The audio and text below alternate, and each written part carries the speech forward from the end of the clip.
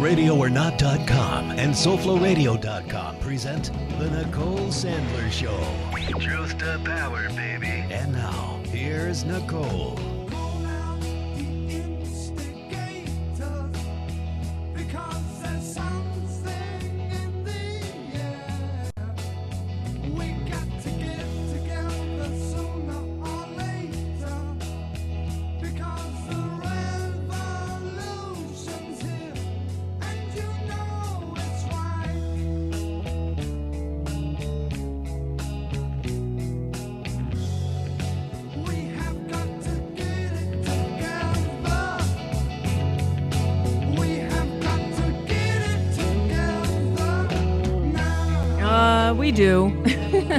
Know that we ever will, though.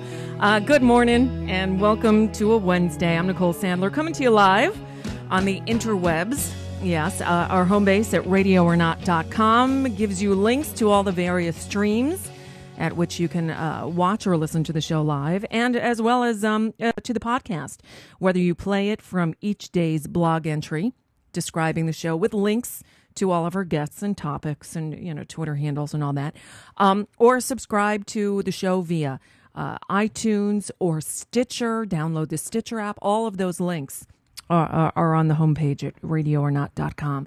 So, um, if you tuned in early for today's pre-show music, you heard a few end of the world songs, and I know you're thinking, well, the rapture, you know, didn't happen. Uh, I think it's upon us. And all I have to do is is recap some of the news of the day. Uh, Snowquester in D.C. Actually, not really. You know, they had predicted this huge, you know, snowfall was going to shut the city down. It, it, never happened yesterday, and and so it snowed a little bit, um, but uh, uh, the snow isn't sticking because it's too warm. All right, that's not part of my end of the world uh, story roundup. Um, but how about this? All right, and sort of continuing from where we left off yesterday, the um, the Dow Jones Industrial Average uh, closed yesterday at an all time high, fourteen thousand two hundred and something. You know, I don't pay much attention because honestly, I don't have any money in the stock market. Doesn't, doesn't, you know, uh, but you know, as we talked about yesterday, the rich keep getting richer and the rest of us are just screwed and not in a good way.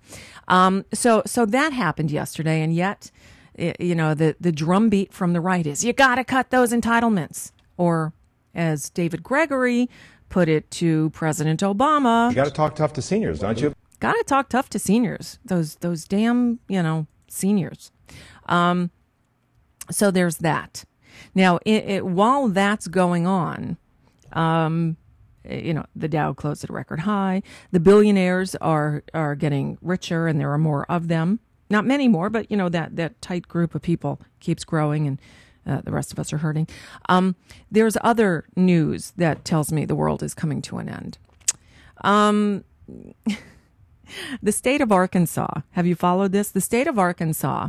Their, their legislative session um, passed a ban on abortions after 12 weeks.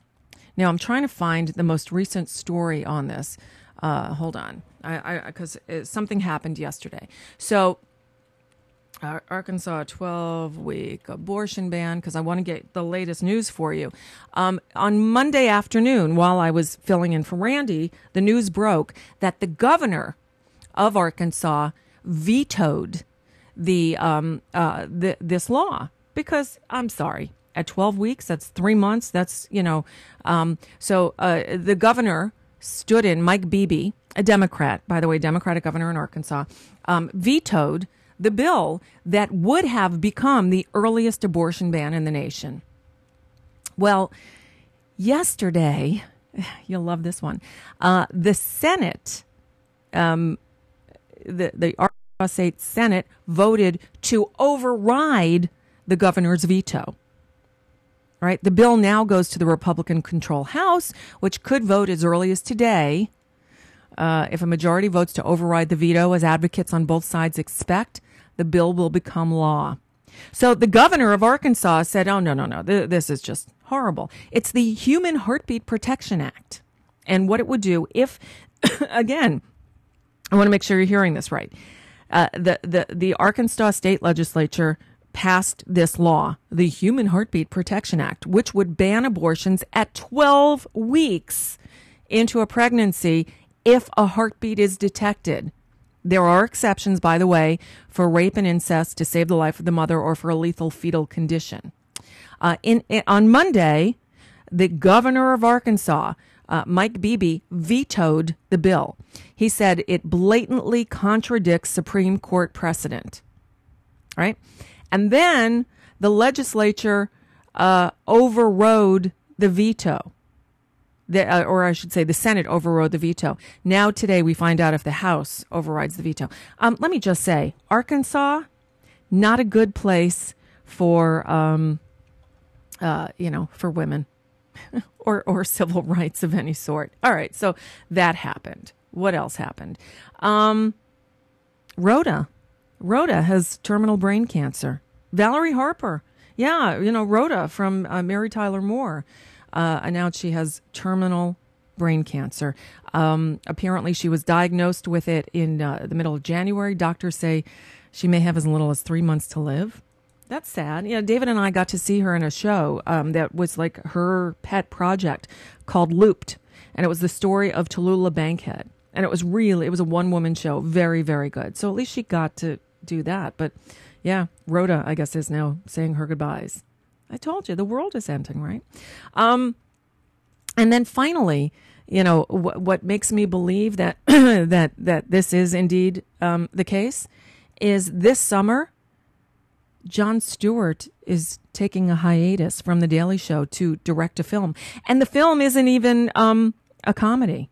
No. And so bear with me because I'm going to take you through what this is all about. All right. It's a fascinating story. Here's, here's how it goes. Back in, um, I want to get the dates right, uh, June of 2009. Uh, the Daily Show did a, a bit.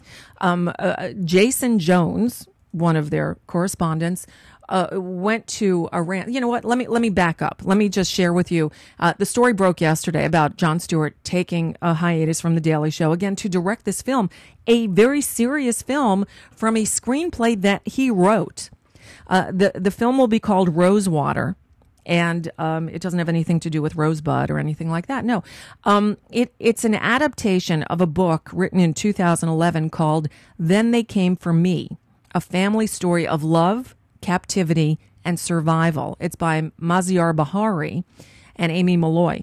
Um, uh, and John Oliver, by the way, when when uh, Jon Stewart is out, John Oliver will guest host for eight weeks, and the other four weeks, uh, I guess, will be just you know their, their regular time off because the Daily Show gets four out of every twelve weeks off. Uh, anyway, so um, so what happened is, I guess maybe Jon Stewart feels a little responsible to Mr. Bahari because a bit that they did um, contributed to Bahari being imprisoned in Tehran for four months, accused of plotting a revolution against the government. You know, this sounds like a bit in it of itself, but it isn't. Here's here's the story. Uh, shortly before he was arrested, Bahari participated in a Daily Show sketch, conduct, sketch conducted by Jason Jones, who was pretending to be a spy. And I'm going to play for you some of the audio from that bit. and then the interview that, um, uh, upon his release, that Jon Stewart did with Mr. Bahari, in which um, uh, basically, we learned that uh, the Iranian authorities, um, you know, watched this bit and took it seriously, I suppose. So here we go. Uh, here's Jon Stewart's setup for the bit. It was June 22nd, 2009. Obviously, the situation in Iran is fluid and uh, very dangerous, and much more fluid and dangerous than we thought it was going to be when we sent Jason Jones there. So, uh, while he had gone to Iran in pursuit of a comedy piece, he met some people who were in pursuit there of much more.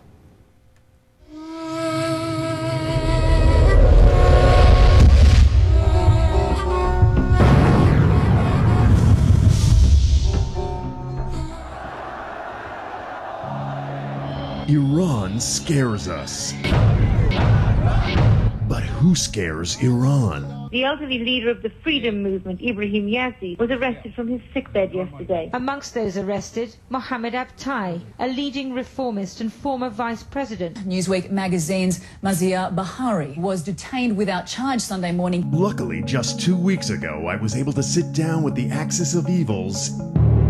Axis of Evil. Hmm. First up, Ibrahim Yazdi. One glimpse of his fearsome visage and his trained attack lovebirds told me all I needed to know. I'd have to play this one carefully. My name? Hmm. Abraham Yazdi. I'm just going to call you Colonel Sanders. I don't have any sandwich. You'd make a lot of money with a sandwich shop. Well, I'm satisfied with what I have. But there are some things this leader of Iran's freedom movement is not so satisfied with. I am opposing American deeds in Iran. I'm opposing American policy towards Iran. I think that the American religions actually help the hardliner in Iran. The former President Bush called Iran the axis of evil. Why did he call you the axis of evil, though? Ask him. Well, I know why. You're evil. Okay. How can you prove that we are evil? You're part of an axis. We are not. We don't have anything to do with the, uh, Saddam Hussein or with the North Korea. You are looking at you, the, your own picture in the mirror. Well, that's what I'd like to look at. Both of us, we need to cooperate. Why you don't look at that angle? And it's just that kind of intolerance that led the government to drag him from his hospital bed and throw him in prison. But he was nothing compared to Iranian born Newsweek contributor Maziar Bahari and his message of radical reasonableness. I think uh, people should stop saying death to America and Iran. You know, you say death to America, the other part says that uh, axis of evil. So, and the, both sides are idiots, basically. Wait, did he just call us all idiots? No wonder they arrested him from his mother's home without charging him. It was clear I'd been too soft in engaging with Iran. Okay. With my final subject, Muhammad Ali Abtahi. Okay, so oh, I, I sorry, I was responding to a tweet and I, I missed the important part. So okay, so what the second in this um, access of evil, evil, as he called it, uh, was uh, Maziar Bahari. Again, did you hear what he said? How can you prove that we are evil? You're part of an axis. Okay, We are not. It's coming we up don't here. have anything to do with the, uh, Saddam Hussein or with the North Korea. You are looking at the, your own picture in the mirror. Well, that's what I'd like to look at. Both of us, we need to cooperate.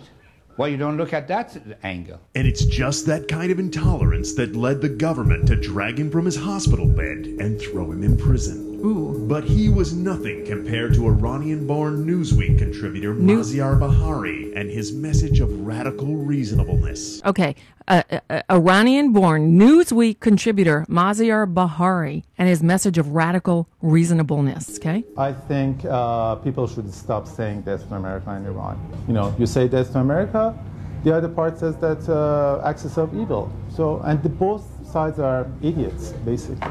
Wait, did he just call us all idiots? No wonder they arrested him from his mother's home without charging him. Okay, so he called, uh, I guess, by saying they're all idiots. I guess he was calling, you know, the supreme leader an idiot, right? So what happened is, um, after, after that, uh, uh, Bahari was dragged from his mother's home and arrested, and the captors used the footage against him. He was imprisoned for four months. Okay. When he got out, he returned to The Daily Show. It was November 30th, 2009. And here's how that went. My guest tonight, a reporter for Newsweek magazine who spent 118 days in an Iranian prison. He was released in October. Please welcome to the program Maziar Bahari. Sir?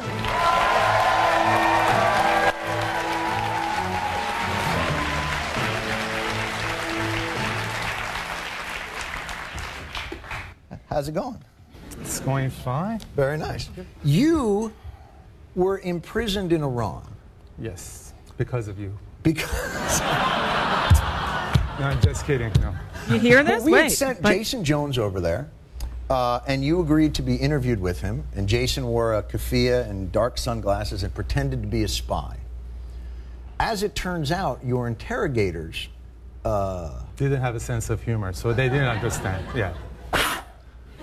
Well, I don't know if the sketch was not funny Yeah. or they didn't have a sense of humor, but I, I was think the I know which victim. it is. I was the victim, anyways. Exactly. I don't care. I was the victim. Here was the crazy part.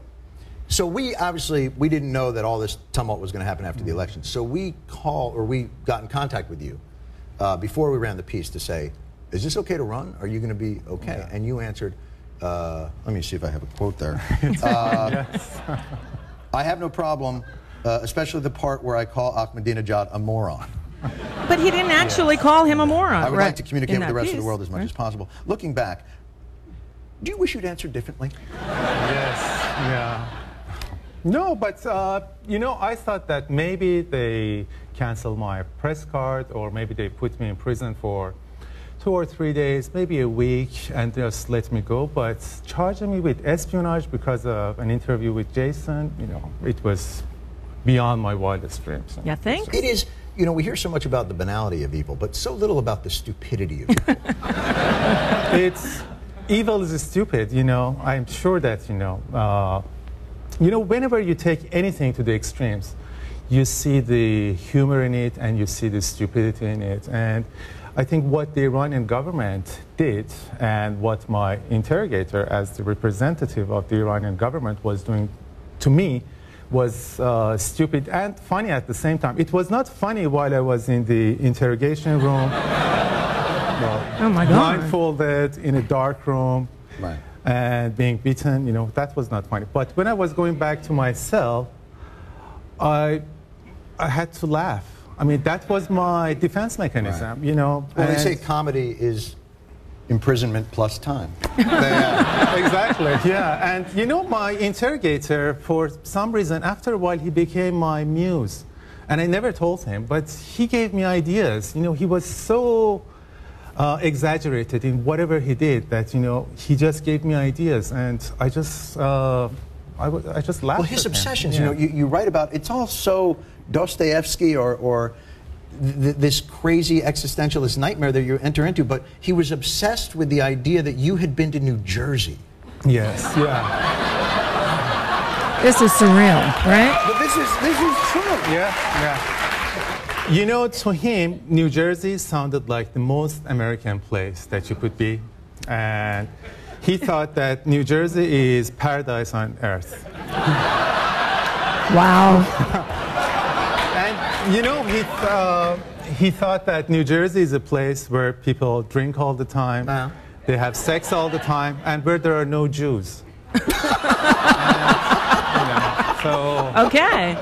Um, apparently, the exception to the rule. I didn't get to do any of that stuff. I in New never Jersey. told him about you. Yeah. He, he, they. It's it's funny and tragic and horrible because this is a man invested with a great deal of power. He is a, a in the Revolutionary Guard in Iran. He was a Revolutionary Guard and he was in charge of my life, you know. I had to be very respectful of him. I had to be very deferential. Uh, you know, I always had to call him sir. And whenever I was, uh, uh, whenever I wanted to answer back, I was always saying that, uh, you know, I beg to differ, but you're stupid. You know, I never said Right. that, but you know, uh, I always had to respect him, and he had a lot of power. I mean, he and you know what? One thing that was very smart was that I was not uh, confronting the system. I was not confronting the government. They made him in charge of my life, so it was as if that he had a personal grudge against me. Not that you know I was tried or I was imprisoned by the Iranian government. They made it more personal. He came to arrest me. He was my interrogator. And on the last day, just the night before my, uh, I left Iran, he told me that we can arrest you wherever you are. We can always bring you back in a bag. Oh my God. All right. So it goes on for another three minutes or so, and I will post uh, the video of that interview, Jon Stewart with Maziar Bahari, on the blog today at radioornot.com after the show, so you can watch the rest of it. But bottom line is so uh, you're following this, right? In 2009, The Daily Show does a bit with one of their uh, uh, correspondents, Jason Jones, send him to Iran. They do this interview. Bahari is in there for what? All of 30 seconds? And he says they're all idiots. But because of that, he's charged with espionage or, or, or some such nonsense and jailed for four months. Doesn't sound like a real pleasant experience. He comes out, goes back on The Daily Show, and writes a book. So, um, uh, so today uh, or last night in the New York Times, there's a, a story about the fact that Jon Stewart is taking a a uh, three month hiatus from the Daily Show to direct this film based on Bahari's book about this arrest and imprisonment. And he says, um, you know, he read the book and, quote, because I'm naive about the movie business, end quote, started to think about a film. He said he didn't uh, intend to adapt it into a screenplay. quote, it just kind of happened. Okay. So, uh, fast forward and, uh, Stewart, Jon Stewart this summer is, uh, taking a hiatus to, uh, to to direct this film. Now, um, at the end of the the article, it says uh, um, uh, that the the film to be called Rosewater, while serious, would have more humorous moments than people might think. Well, obviously, I mean, you could hear the thing about New Jersey. I'm sure there'll be stuff like that in it that we laughed at in that interview. Uh, quote: One of the one of the things that appealed to me about the story is that it does have lighter moments one of the things that kept uh, Maziar alive was his ability to keep a sense of humor, to remember about joy and laughter, and to see the absurdity of his situation. And we heard that in that interview. So, um, wow, should be interesting. But really, I mean, uh, three months without Jon Stewart, that's going to be a tough one. Uh, now, okay. Uh, to to move on, we will once again go to Jon Stewart because last night he addressed a topic that we have been uh, dealing with here on the show as well. And that is of the Supreme Court and the hearing one week ago today on uh, the challenge to the Voting Rights Act. Now, so Jon Stewart began this segment by talking about the fact that, as we mentioned at the beginning of the show, that the Dow yesterday closed at a record high. So, you know, and, and sort of questioning, well, you know, was, so where's the financial crisis, right? The point is, we no longer have to worry about fixing Wall Street's Right. unacceptable risk and volatility issues. Right. But the good news about history never repeating doesn't end there. Because you know what else we fixed? Racism. Wow. Ba-bam. Ba-bam. Like, like the Dow Industrial Average, black people in this country are at an all-time high.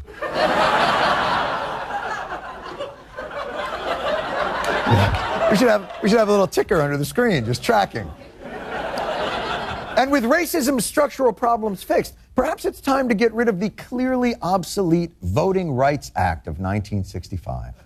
The Voting Rights Act has been the law of the land for nearly half a century, helping to ensure that minorities are not denied the right to vote. The law requires states with a history of discrimination to get federal approval before changing how they conduct elections. Oh, history of discrimination, you got to ask approval. Li- li- Like, if you want to take out a loan, but have a history of bad credit, you may need to show extra documentation or get a cosigner. Or- Right. Or, if you want to move uh, near a school and you're a sex offender,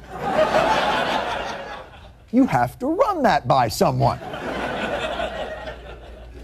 But now Shelby County, Alabama is leading the charge to strike what they consider to be this unfair provision of the Voting Rights Act. They are hoping to become the Jackie Robinsons of people who had historically disenfranchised people like Jackie Robinson. But today, Shelby County, Alabama challenged the law at the Supreme Court. The America that elected Barack Obama is not the America of our parents and our grandparents. It's a completely different America. We got cell phones now, and things cost more than a nickel. And Coca Cola no longer has cocaine in it, although Or real sugar. you have to buy it separately. And in some communities, you have to be very careful. You're not allowed to have 16 ounces of either. Look, Shelby, uh, Sel- Shelby County, yeah, people, you know what you are? You soda addicts. Shelby County, Alabama is basically saying that since America elected a black man, therefore, uh, uh, ipso facto, Wingardium Leviosa, we are free now of racism. Although I guess the corollary of that would be, by their own reasoning, if you didn't vote for him, oh yeah, okay. the point is, Shelby County, Alabama sees the Voting Rights Act less as an effective bulwark against backsliding into discrimination, i.e., the sex offenders uh, registry, and more like orthodontia. Nice, but no longer necessary in the South. Meaning, wow, it's already straightened out the problem, and you can remove it because it's straightened. Not that the, you know, you know what I'm saying. I mean, seriously, when was the last time any states on the list of previously discriminating states tried to cook up some voting shenanigans, but were stopped by the Voting Rights Act? The Justice Department has rejected ID laws in Texas and South Carolina. See? but Yeah, that was right. Last year. All right. Last year. That was like six Taylor Swift breakup songs ago. the point isn't that the Voting Rights Act is still stopping discrimination before it happens. It's why can't we go back to the old model of discriminating first and stopping it later? Boom. Right? As divisive as the issue is, imagine what the battle to renew the Voting Rights Act in 2006 must have been like in Oh, the Senate. That right, really. The Senate has just voted to renew the landmark Voting Rights Act. The vote was 98 to 0. 98 to 0. Is that even allowed in the Senate anymore? You know how hard it is to get a unanimous vote in the Senate? They couldn't even pass Ice Cream Appreciation Day unanimously. Because, oh, Senator Crapo's lactose intolerant. And Senator Inhofe read a blog that says ice cream makes you gay. It's Ben and Mary! Ben and Mary, not Ben and Jerry. All right. So, I thought we'd have a. All right. So that's the law that Shelby County has a problem with. The effective popular one. The one both its senators from Alabama voted to renew. Yes. There's only one way to settle this, ladies and gentlemen. To the Supremes! Why would we vote in favor of a county whose record is the epitome of what caused the passage of this law to start with? I love her. Perhaps, um, uh, no, no, wait. I think I have a reason. Mm, the element of surprise. And giggles. Hmm. Well, Justice Kagan appears to be leaning, or Sotomayor uh, appears to be leaning towards upholding the statute. Chief Justice Roberts. Is it the government's submission that the citizens in the South are more racist than citizens in the North? No, we've been to Boston. Okay. Oh, and yeah. And my grandparents' house. I would put personal northern racism up against anybody's racism, but this isn't really about personal prejudice. It's about systemic discrimination. And if the last election is anything to go by, the Voting Rights Act should be expanding, not contracting. Yes. Pennsylvania lawmakers passed a new voter ID law in March. Wisconsin put in place strict voter ID laws. Strict photo ID laws, which critics say make it harder for minorities and the poor to vote. New voting restrictions in Ohio. A Republican Secretary of State wanted to close early voting in the weekend leading up to the election. Ohio Republicans failed in their attempt to expand voting hours in Republican areas while cutting them back in Democratic areas. What more does Ohio have to do to get on the list of states? I mean, replace voting machines with shredders? I mean, it's just. but so far, the Supreme Court debate has been conducted in a, a very intelligent and respectful manner.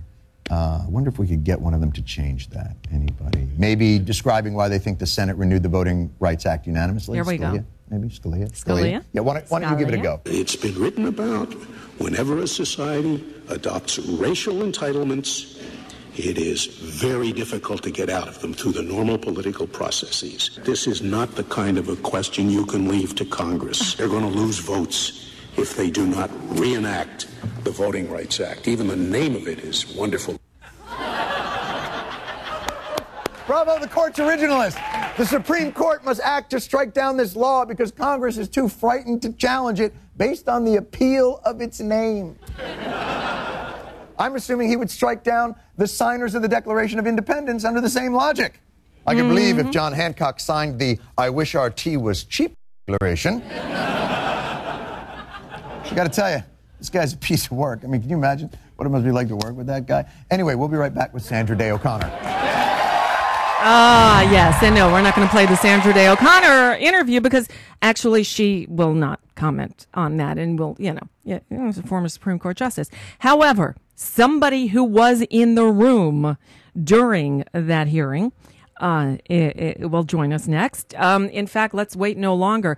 Ari Berman of The Nation, uh, correspondent for The Nation, author of the book Herding Donkeys, and a frequent guest on this show, talk, talking about uh, the, the, the, the massive moves to suppress the vote. Um, uh, Ari Berman joins us now. Hey, Ari. Hey, Nicole. How's Thanks. Uh, well, okay. I, you know, I just played uh, Jon Stewart's pretty lengthy piece from the other night on this challenge to the Voting Rights Act. And he's as incredulous about what went on in the Supreme Court a week ago today as I believe we are. Um, so you were in the room. Was that the, your first time at the Supreme Court? Yep. And and was it was it daunting? Was it was it like intimidating? What what was first describe the experience of being there? Well, the thing is, you can't bring in any recording devices. You can only bring in uh, a pad and uh, a pen, and obviously no water or any accompaniments. Uh, and reporters are kind of sat. Uh, I guess based on uh, longevity and status, uh, meaning that uh, publications like The Nation get put uh, all the way in the back uh, where you can barely see. So you're kind of looking around a column, um, trying to figure out who is speaking um, at which point in time, because it's not like they say, like, I'm Justice Kagan and I'm speaking now. You have to just figure out, like, who's speaking at one point in time. Four justices are from New York and have New York accents, so sometimes it's hard to figure out which one is speaking. Um, so, I mean, I'm kind of trying to figure out who's doing what, and then at the same time, I'm furiously taking notes, and then at the same time, I'm trying to figure out, well, what's actually being said here. Uh, and, you know, it was pretty clear early on uh, that there was a lot of hostility uh, to the, the Voting Rights Act, to Section 5 of the Voting Rights Act, which is being challenged uh, from basically all of the conservative justices. And everyone was essentially watching Anthony Kennedy because he appears to be the only swing vote uh, on this case. Four of the justices are supportive of Section 5, four of the justices are opposed to it. So the question is, what was Kennedy saying? And, and what Kennedy had to say, uh, as uh, news clips have, I think, accurately uh, reported, was that he seemed very skeptical of Section 5. He basically took the opinion uh, that Alabama now is the victim of discrimination rather than doing the discriminating. And so, I mean, if, if that's the point that you take, then it's very difficult to persuade him as to what's going on. You know, it's interesting that um, uh, Elena Kagan, who is now sitting, one of the justices sitting on the Supreme Court, who who asked some pretty good questions because we now have access to the the audio recording, although there are no no cameras in the courtroom. Um, uh, she used she was the Solicitor General. The guy who now holds the job, I gotta say. Uh, w- you know, honestly, I have not listened to that many Supreme Court cases, but I heard a lot of what went on at the uh, the hearing last year for the Affordable Care Act, and now this one. Um, and uh, Verrilli, not the best lawyer out there. Um, I, I got to say, at one point, you know, Anthony Kennedy. I, I think that one of the the ways they might strike this down is because Section Five only applies to, I think, 17 states or counties. It doesn't apply uniformly across the country. And um, they could say, well, you know, it doesn't apply to everyone. It's unconstitutional. Um, and at one point, Kennedy asks Verrilli, well, do you think that this should be applied uh, across, to the whole country? And he says, well, no, I don't think that there's any Well, I actually agree with him on that point. Do you? And I agree with him on that point for two Okay. reasons. Number right. one, Section 5 has been upheld precisely because it is targeted. Huh. So the idea of making it nationwide is in many ways a poison pill that's been used by conservatives opposed to the act for 50 years. It sounds good, but think about it. Every single voting change in every single county in America has to now be approved by the federal government. There's not a need for that, number one. That's not happening in Idaho or Maryland like it's happening in Texas uh, and in Mississippi, for example. So there's just a practical problem if somehow you have every single voting change have to be cleared. The Justice Department's not even going to be able to go through all of that to try to figure out who is actually doing the discriminating. The second thing is that the Supreme Court's going to look at it and they're going to say it's not quote unquote congruent and proportional, which is the standard they used in past cases to uphold Section 5. And the court in other decisions has pointed to Section 5's targetedness as a reason why it's constitutional. So it might sound good, but ultimately expanding it nationwide is a poison pill. And I think it's important for hmm. people to understand the jurisdictions that are covered by Section 5, the parts are all of the 16 states with the worst history of voting discrimination. It's not a perfect formula. It never was a perfect formula. Right. It doesn't catch everybody, but it still catches the worst actors. And so the question is, what's better? No Section 5 or an imperfect Section 5? Because those are the options here. It's not like we're getting a better Section 5. It's not like Congress is going to go in and improve this. So what we're really left with is uh, what's on the books now, which is working pretty well, or nothing. And I think that that's uh, the unfortunate situation that we find ourselves in. You know that, and and that's really uh, the point. You know, I I know you saw the Jon Stewart piece because you tweeted out a, a line from it the other night. Um, but there was another line that I heard uh, when he was talking about some. Um, voter suppression uh, uh, tricks they tried to play in Ohio. And he said, What's it going to take to get Ohio uh, covered under this? You know, them installing shredders instead of ballot boxes. Um, uh, but so, but that's not But, but what's here's the, the thing you have to here. understand about this. Uh-huh. States like Ohio and Pennsylvania are problems when Republicans are running them. Right. Okay? So Mhm. if Democrats are in control of Ohio, Ohio's not a problem. Right. So there's no way that you can draw the kind of law that says, okay, when Republicans are con- in control of this state, it's a problem, but when they're not, it's not a problem. But you look at states like Alabama, for example.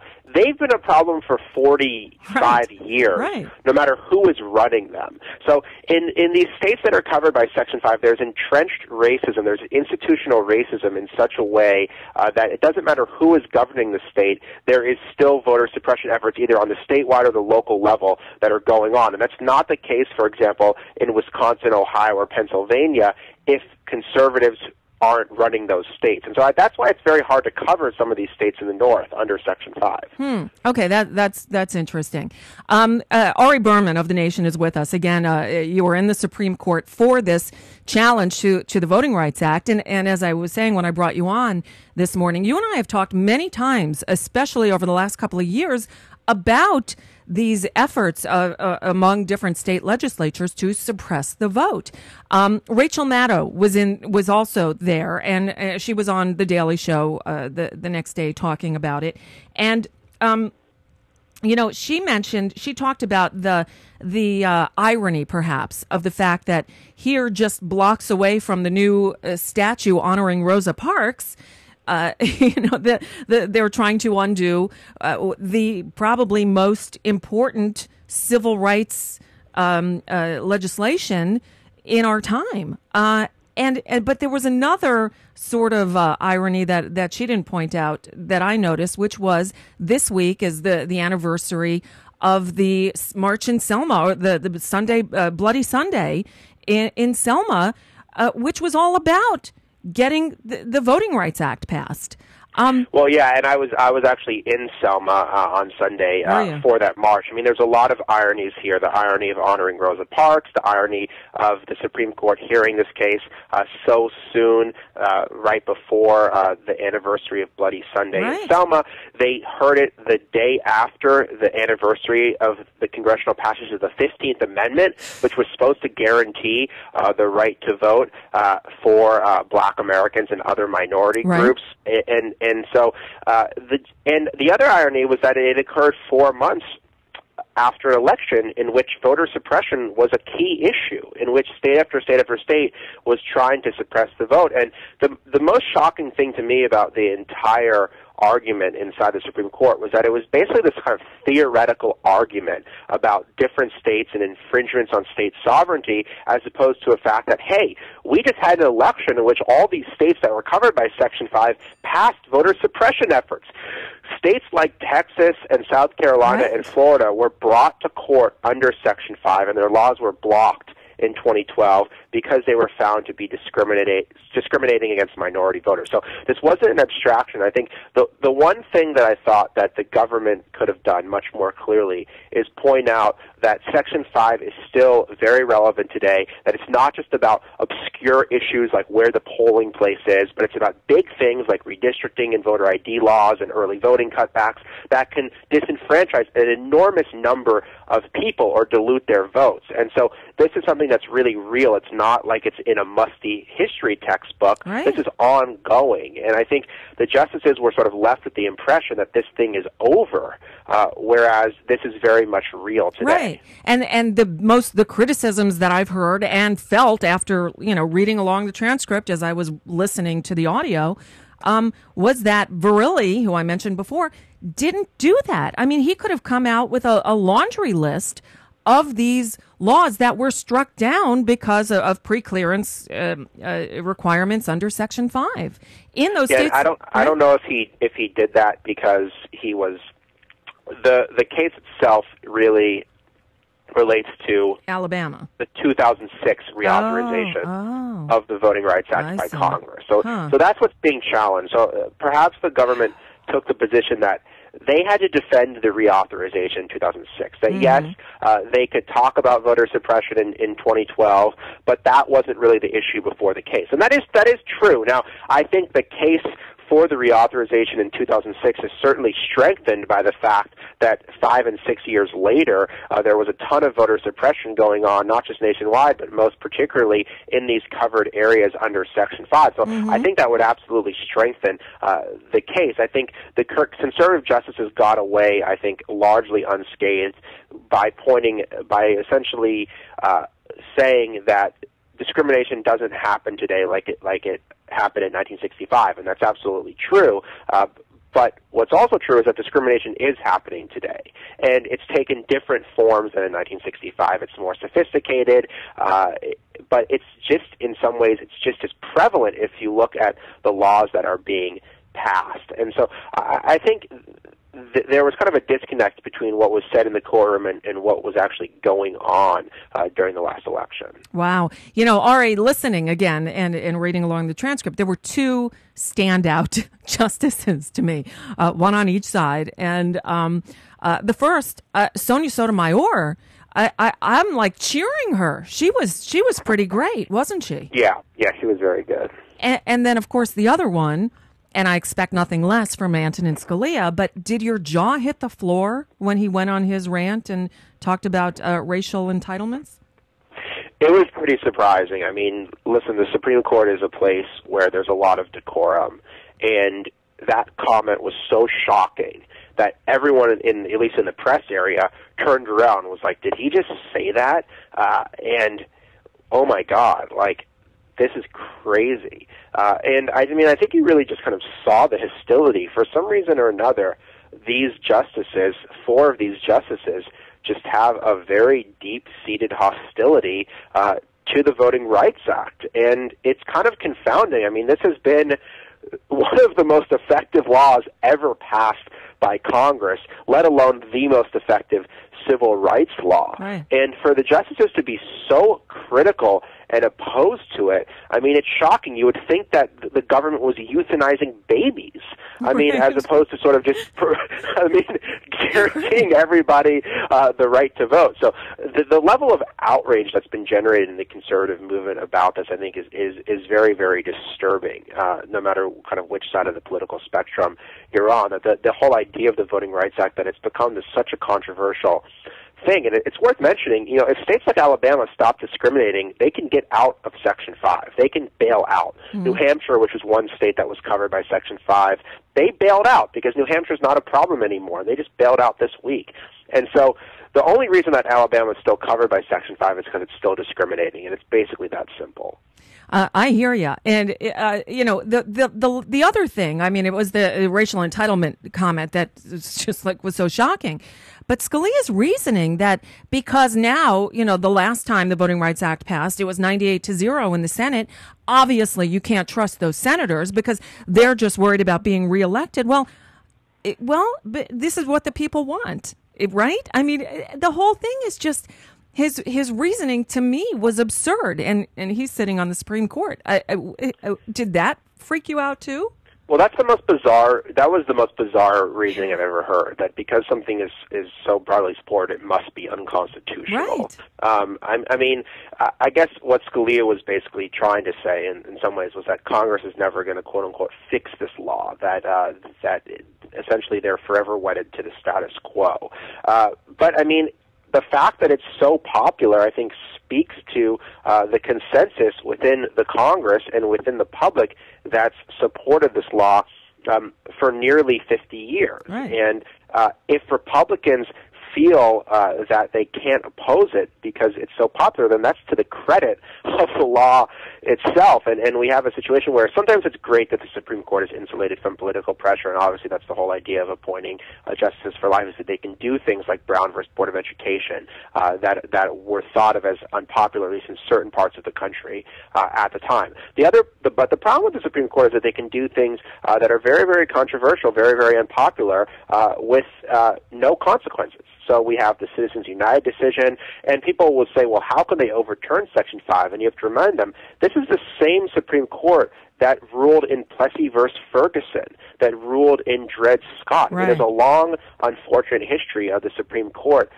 striking down or upholding very racist laws in our country's history. Uh, and if you look at the rhetoric that Scalia was using when he called the Voting Rights Act the quote perpetuation of racial entitlement, it's not that similar from the rhetoric that was used in Plessy versus Ferguson uh, or in other laws where they basically said uh, that you know blacks are inferior to white people and don't deserve Yeah, special right. constitutional protections. And so, I mean, we, we, there's a lot of ways we can rationalize this, but I mean, some of this is just kind of racism that is expanding, uh, that that is sort of expressing itself in new forms. Any chance, do you think, that uh, Chief Justice John Roberts might have heard this? I mean, because th- he- th- they may be, you know, far to the right, but they're not stupid people. That he might say, I don't want the legacy of the Roberts Court to be one that, you know, sets back civil rights a half a century and, um, you know, is one that, you know, speaks of racial entitlements and he might vote with the, the other side? I think, uh, to the contrary, uh, John Roberts, since he was a young lawyer in the Reagan Justice Department, has tried to narrow the Voting Oh, Rights. Act. So, uh, Jeff Toobin had a column after the court hearing saying that John Roberts's uh, legacy is wants to be to essentially end the modern civil rights movement, which is again a kind of crazy legacy uh, to want to have. Um, but I don't think Roberts cares about that that problem. Um, Kennedy perhaps. Uh, could be worried about that, uh, but remember, I mean, Kennedy is supposed to be the sort of moderate justice on Right. the court, and he was willing to overturn all of Obamacare Right. uh, under very shaky reasoning. And Right. so, I don't think we can really trust Kennedy. I think Kennedy is making what to me looks like perhaps a Faustian bargain where he is going to rule more progressively in the gay marriage cases that are before the court, uh, but less progressively on the Voting Rights Act. And therefore, he'll still be hailed in some quarters uh, as uh, a guy who is leading the march towards equal justice. Now, to me, it's like equal rights are equal rights. I mean, you should be for equal voting rights and you should be for equal gay rights.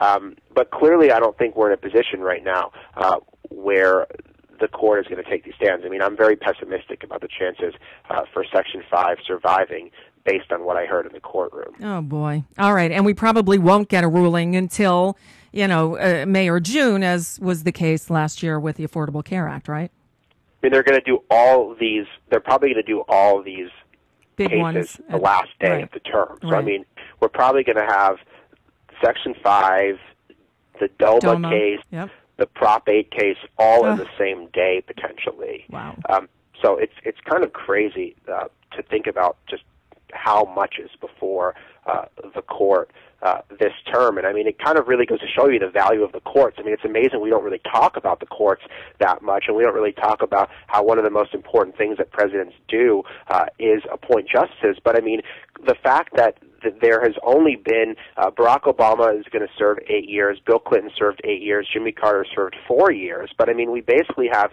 decades and decades of Republican appointed or Republican appointees on the courts right now, whether it's you know down from Nixon on. um, Yep. but particularly Reagan, who appointed so many of these justices that are on the court now. That's the legacy of the conservative movement. The legacy of the conservative movement is strongest right now on the courts and particularly on the Supreme Court.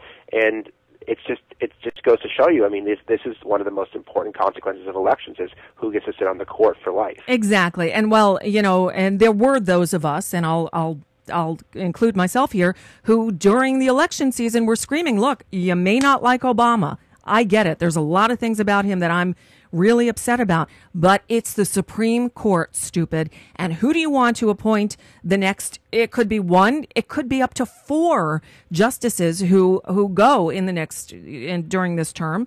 Do you want Mitt Romney or do you want, uh, you know, a, a, a Democrat? And Well, I think at the very least, Obama's going to get to appoint uh, one more justice from the liberal wing, and, and at least make that part of it younger. Um, and then, you know, perhaps Scalia, with all his his raving and ranting, will, will do him in uh, early. I mean, based on what I saw, the conservative justices looked pretty spry. Um, but I mean, you obviously can't tell. You never know what's going to happen. And certainly you can't tell with uh, Thomas, who didn't disappoint, still didn't make a doesn't- who sound. Didn't huh? say. Yeah, there word. was some question that he, there was some speculation that he might say something, but of course uh, he didn't. And he's the most extreme of all the justices on the court because in 2009, uh, when the Voting Rights Act Section 5 was before the court itself, it was Thomas, not Scalia. Who was the only dissent saying that Section 5 is unconstitutional? So, when there is someone on the court who is more conservative than Justice Scalia, Yeah. you really know there's a problem. Oh, boy. All right. Uh, Ari Berman, can we expect um, a, a big write up on this from you? I haven't seen it at the Nation. Yeah, no, I blogged. I blogged uh, afterwards. Okay. Um, it's uh, on thenation.com, Okay. uh, and I wrote a big piece beforehand. Uh, right. Uh, that I that I read. Uh, well, I'll. I have another piece out Thursday uh, Okay. about the case. Oh, terrific. yeah. Well, I, I will link to your blog and, and the piece you wrote beforehand uh, today on my blog at radioornot.com. Uh, his book is Herding Donkeys, definitely still just a- an important read, and, and everything he writes for The Nation, too. Ari Berman, thank you so much. I, I really appreciate your time this morning. Thanks for having me back. Okay, bye bye. Uh, yeah, I always love talking with Ari, and, and we spent so much time during this election year talking about the voter suppression efforts on, you know, and it, it all goes back to ALEC, and we spent a lot of time talking about that too. All right, it is Wednesday. That means in the second hour, we'll be joined by Amy Simon of She's History. You know, it is March, Women's History Month, and uh, Friday is International Women's Day. Right. Uh, we'll also have John Amato from The Nation. And uh, a qu- quick programming note tomorrow, um, uh, well, we'll make an important announcement uh, concerning this program and going forward. And uh, you'll have to tune in tomorrow to hear that. And um, I, after the show today, I'm going to hop on a conference call with Alan Grayson and um, uh, and a few other lawmakers uh, about is um, uh, and the Progressive Change Campaign Committee about the letter that R- Grayson and Mark Takano of California wrote promising to vote against any and every cut to Medicare, Medicaid, or Social Security benefits.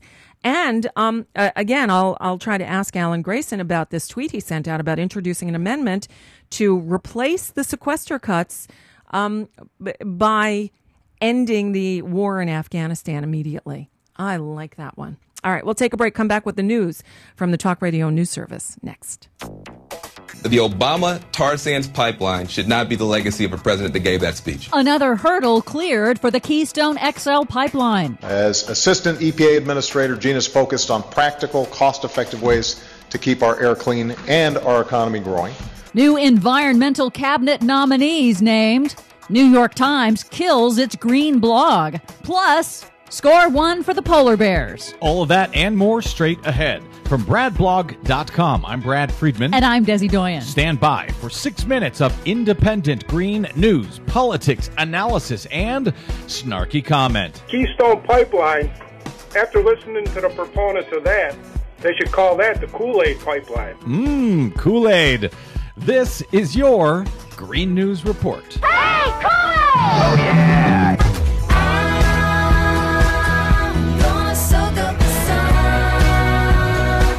Okay, Desi Doyen, our thanks to Sean Pierce of the Randi Rhodes Show for that quick clip from their caller about the Yeah. Kool Aid pipeline. I just kind of liked it. Oh, Although, yeah. you know, uh, Kool Aid is harder to get out, I think, than tar sands. No, actually, I think that tar sands would be harder than Kool Aid You to think get so? out. Oh, Okay, yes. yeah. Late Friday afternoon, the State Department released its new environmental impact report on the proposed Keystone XL pipeline from Canada, and environmentalist groups were none too pleased. It is now one step closer to final approval. Now, the environmental groups dispute the findings of the report that concludes that Canada's tar sands are going to be developed regardless of whether the pipeline is built, and therefore, the State Department says of itself, the pipeline will have no significant impact on climate change or the environment. And that's, of course, assuming normal operations, as in no spills. On CNN, Van Jones, the former White House Green Jobs advisor, summarized the pushback very well. This causes the president's environmental base to go nuts. He just gave this beautiful speech about climate and how we're not going to let the earth get cooked. And the first thing that comes out of the State, State Department is we're going full speed ahead on tar sands. This is a big deal. The the Obama tar sands pipeline should not be the legacy of a president that gave that speech. This is a big deal indeed. And Obama seems to have put himself in a corner here. He, you know, has been talking about the concerns about climate change, the need for green energy in his inauguration speech. He nominates John Kerry to Secretary of State, who's been talking about the same thing. And now his own State Department comes out and says, yeah, the pipeline uh, should be okay environmentally. No real concerns. Which Obama is going to show up? The guy who talks a good game, or is he going to actually approve this pipeline? Now, the new report is subject to a 45 day public comment period, and then there are a few more steps that have to be done before it can get final approval. Among those steps, John Kerry himself, as Secretary of State, has to approve it, and then the president himself has to approve it. So Van Jones is right when he says that this is going to be the Obama pipeline, and if it spills, it will be Barack Obama's legacy. Yep. The next big administration move President Obama on Monday announced his nominees for the Department of Energy and the Environmental Protection Agency. Gina McCarthy, an air quality expert who's currently an EPA administrator, will head the Environmental Protection Agency, if confirmed. And nuclear physicist Ernest Moniz has been named to replace his fellow nuclear physicist and Nobel Prize winner Steven Chu to head the Department of Energy. They're going to be making sure that we're investing in American energy, that we're doing everything that we can to combat the threat of climate change, that we're going to be creating jobs and economic opportunity in the first place. Uh, they are going to be a great team. He says he wants to make sure we're doing everything we can to combat the threat of climate change, and yet he might actually approve the Keystone XL pipeline. I know, it's kind of schizophrenic. Now, environmental groups like McCarthy, she helped write new rules cutting toxic air pollutants from power plants. She has worked for two Republican governors, but she'll probably still get slammed by Republicans in Senate confirmation hearings. I cannot see the Republicans confirming any director of the EPA, to be frank. But reaction is mixed to Obama's Energy Department pick. Ernie Moniz is a former Clinton administration Energy Department secretary and currently director of MIT's Energy Initiative program. He's a big supporter of expanding nuclear power and fracking for natural gas. He calls them bridge fuels to a low carbon economy. So he's an all of the above guy, Yes. as they like to say. Another Friday afternoon news dump. The New York Times, late on Friday, officially killed off its green blog covering environmental and energy science and news, claiming that the move was to cut costs. It comes a less than a month after the Times closed its dedicated environment desk, and it's a stunning move. You know, the New York Times has nine sports blogs, four tech blogs, and four business blogs. But of course, you know, in fairness, there are at least nine sports, but only one environment. Yeah, one environment which has had record heat, record drought, record floods over the past year. Incredible the way New York Times determines what is news and what is not. Yeah, it's pretty stunning. Finally, score one for the polar bears. The DC Court of Appeals has rejected a challenge to the listing of polar bears as threatened under the Endangered Species Act. In 2008, the Fish and Wildlife Service said climate change would make polar bears an endangered species facing extinction. The state of Alaska sued to get them off that list, and the DC Court of Appeals said no. Finally, some good news today. Thank you, Desi Doyen. For more on that story and all of the others we couldn't get to today, please check out our website at greennews.bradblog.com. Find us and like us on the Facebook and follow us 24 7 on the Twitters at Green News Report. From bradblog.com, I'm Brad Friedman. And I'm Desi Doyen. And this has been your Green News Report. Hey, coolie! Oh yeah, here comes Kool-Aid. Here comes Kool-Aid. Ah! I'm gonna save the day. Here comes Kool-Aid. You're listening to Zoom My on ninety-two mommy. point. You're listening to my mommy on Nicole 90 Sandler. Nicole Sandler on the radio. They're so cute when they're little, aren't they? Mm. All right. yeah, that was uh, was a few years ago. It wasn't that long ago. God, when did I work on that radio station that she was? You know, I, I was uh, exploiting my own child labor. Um, uh, it was only what, like seven years ago. Eight, oh, eight, nine, ooh, time flies, doesn't it? All right, Nicole Sandler back with you here at radioornot.com, soflowradio.com, talkradio1.com, uh, and on, um, uh, now on our YouTube channel as well. Uh, yeah. So, uh, we've got the news coming up from the Talk Radio News Service in just a moment. And, and there is a story that I haven't dealt with yet because honestly, I, I'm I'm sort of of, of uh, mixed feelings about this. Hugo Chavez is still dead. Yeah, and um, you know, look, uh, uh, I, I think he actually did some good things for the people of Venezuela. Now, not everything, uh, but same can be said about uh, you know uh, our government here. Anyway, we will uh, get the official reaction yeah. and the news from our friends at the Talk Radio News Service. Uh, good morning. Who's on the line today? It's Ellen Ratner. How are you doing? I'm doing okay. How are you doing? Good. Good. Uh, so I guess I guess the big It's sort of snowing in Washington, but we're not being. Uh, it, there's no snow that's accumulated on the ground. right. No, it's not the snow quester that uh, we were warned about, huh? Snow quester. That's a good way of putting it. Yeah. Uh, so Ellen Ratner, I guess the big story comes from Venezuela, though it wasn't necessarily un, um, unexpected. Hugo Chavez uh, died last night, And the How re- do you give somebody cancer? Yeah, you don't give somebody cancer. Uh, but apparently, you know, yeah, I, the guy was crazy in many respects, wasn't he? Uh, for sure. But uh, Very crazy. Yeah. Um, yeah, uh, but but also, you know, I think he did some good for his people as well. Although, if you speak with the Venezuelans here in Miami who are kind of celebrating on the streets, uh, they would disagree with that. Right. Well, exactly. Okay, a couple other interesting things. Bob Ney's book coming out today uh, gets front sh- uh, front page of National Journal Daily. Uh, GOP ex lawmaker Ney slams Boehner in book. Picture of Bob Ney underneath saying Bob Ney eats his own. Ooh. Um, well, you know, sorry, his own kind of ate him, didn't they? Now I'm now I'm looking forward to Bob Ney's book. Uh, Bob Ney, of course, has uh, been on the show many times because he works with you, Ellen, at the Talk Radio News Service. And um, uh, and at the beginning, when he first called in, actually, I wasn't expecting him, and tried to ask him about things. And then I, you know, I was told, wait, what? He's writing a book. We'll talk after the book comes out. So when is the book officially out? It's officially out today, but we're not doing any radio till next week. You'll Okay. get them next week. Okay, cool. Oh, great. All right, so we'll talk off the air and set something up. Uh, and uh, Right. I guess my copy of the book is on its way, so I can read it. Yes. I hope so. I yes, hope we're so, going to get it uh, signed today. If you got me Oh, your awesome. address, then we I have. did. Cool. All right, looking forward Great. to it.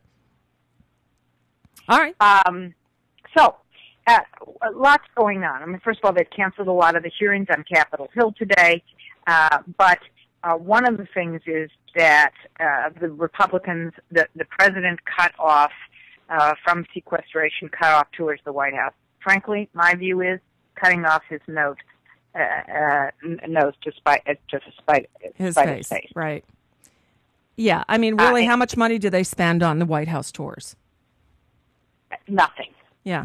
comparatively. The Right. president ought to get up and say, I'm canceling any travel across the United States uh, to save uh, Air Force One. But, you know, so many families have spent all their money coming to Washington, D.C. We're going to continue with that. Mm-hmm. Okay. Right? Right. I agree. I agree. Uh, eh, do you think that they're going to come up with any kind of look?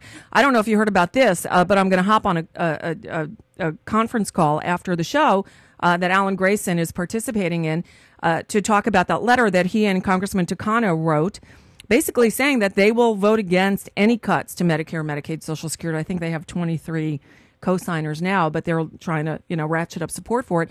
Uh, Grayson also tweeted yesterday, I'll be offering an amendment to replace the sequester budget cuts with an end to the war in Afghanistan. I'd love to see that. Wow. Yeah.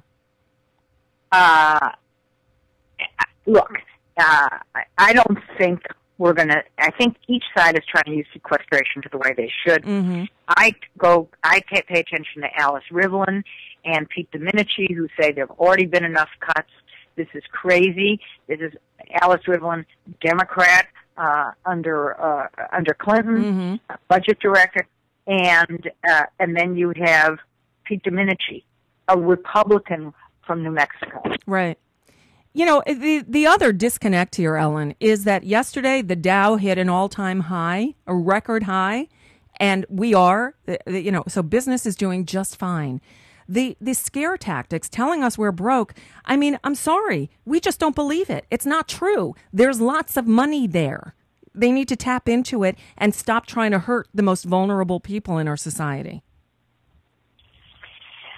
Right. Well, the problem is, is you even have Eric Cantor who was going to cut, uh, change the Medicare uh, law to 56 years old, or you know anybody who's 56 and over uh, would still get it.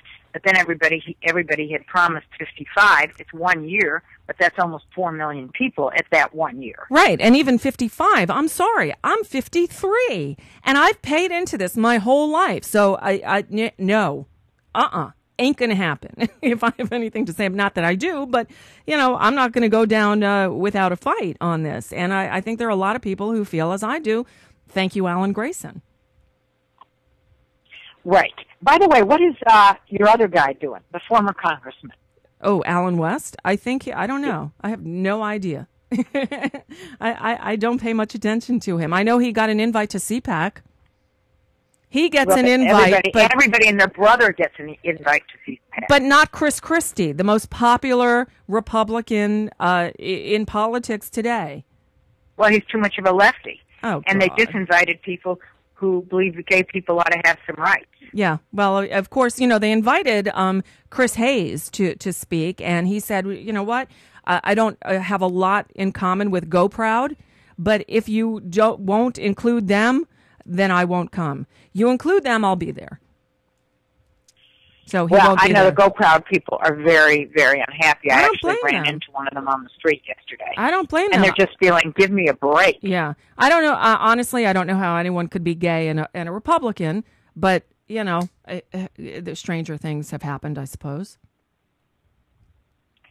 Oh, right. Okay, so also let's talk about, I want to talk about the Cuban mission. This is near and dear to your heart. Um, they just sent out a email uh, about President uh, Chavez of of, uh, of uh, Venezuela, right? Venezuela, saying, "Statement of the revolutionary government. Farewell, Commander." Okay. I, I mean, where do these guys get this stuff? I, I don't know. I don't know. You know, they're friends. But Okay. I- yeah. Uh, other things uh, going on. Uh, there is a uh, an interesting uh, talk about uh, where there is going to be any kind of Medicaid deal with some of the states. Uh, there also is some question and discussion about some of the sequester uh, cuts, and uh, here is uh, what they are doing uh, and the kind of cuts that they are planning on doing. Army National Guard, procurement, weapons procurement for the Navy. A lot of people aren't going to be sad about that, except for perhaps some of the military and some of the unions that were making money on that. Uh, but then they're going to try and cut things like National Park Service. Yeah. Um, eh, they're going to try and cut FAA. Why those? And then at the same time you're cutting, this, this is the insanity. At the same time you're cutting FAA and TSA people, you're saying, okay, we're going to allow knives. Hello? Yeah, right. Now, so this is uh, the TSA is You making have some the, you don't have changes the here. inspectors you need, so now you're going to add knives to the mix. Right. You're going to allow knives, but you're not going to, still not going to allow bottles of water. I mean, come on. Right. Yeah. Uh, talk about uh, opposite world. It's insane. Um, so tomorrow, the uh, Senate Judiciary Committee will uh, they're going to do the markup on the on the gun background checks law. Bill, I'm sorry. Uh, tomorrow, the House Judiciary Committee will do the markup on the um, uh, gun Yes, background if check. it meets. I mean, the issue Oh. is there's absolutely no uh, precipitation in Washington now. it's uh, 10 after 11. It's supposed to start at noon today. Oh my God!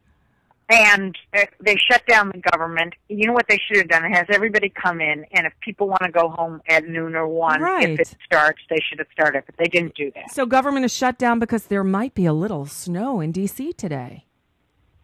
Wow! Right. I'm sure the people in you know Chicago are are just going, "Excuse me," you know. I, I look. I'm in Florida, so you know.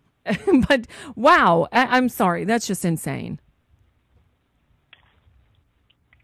Insane. Insane. Yes. All right. Um, okay.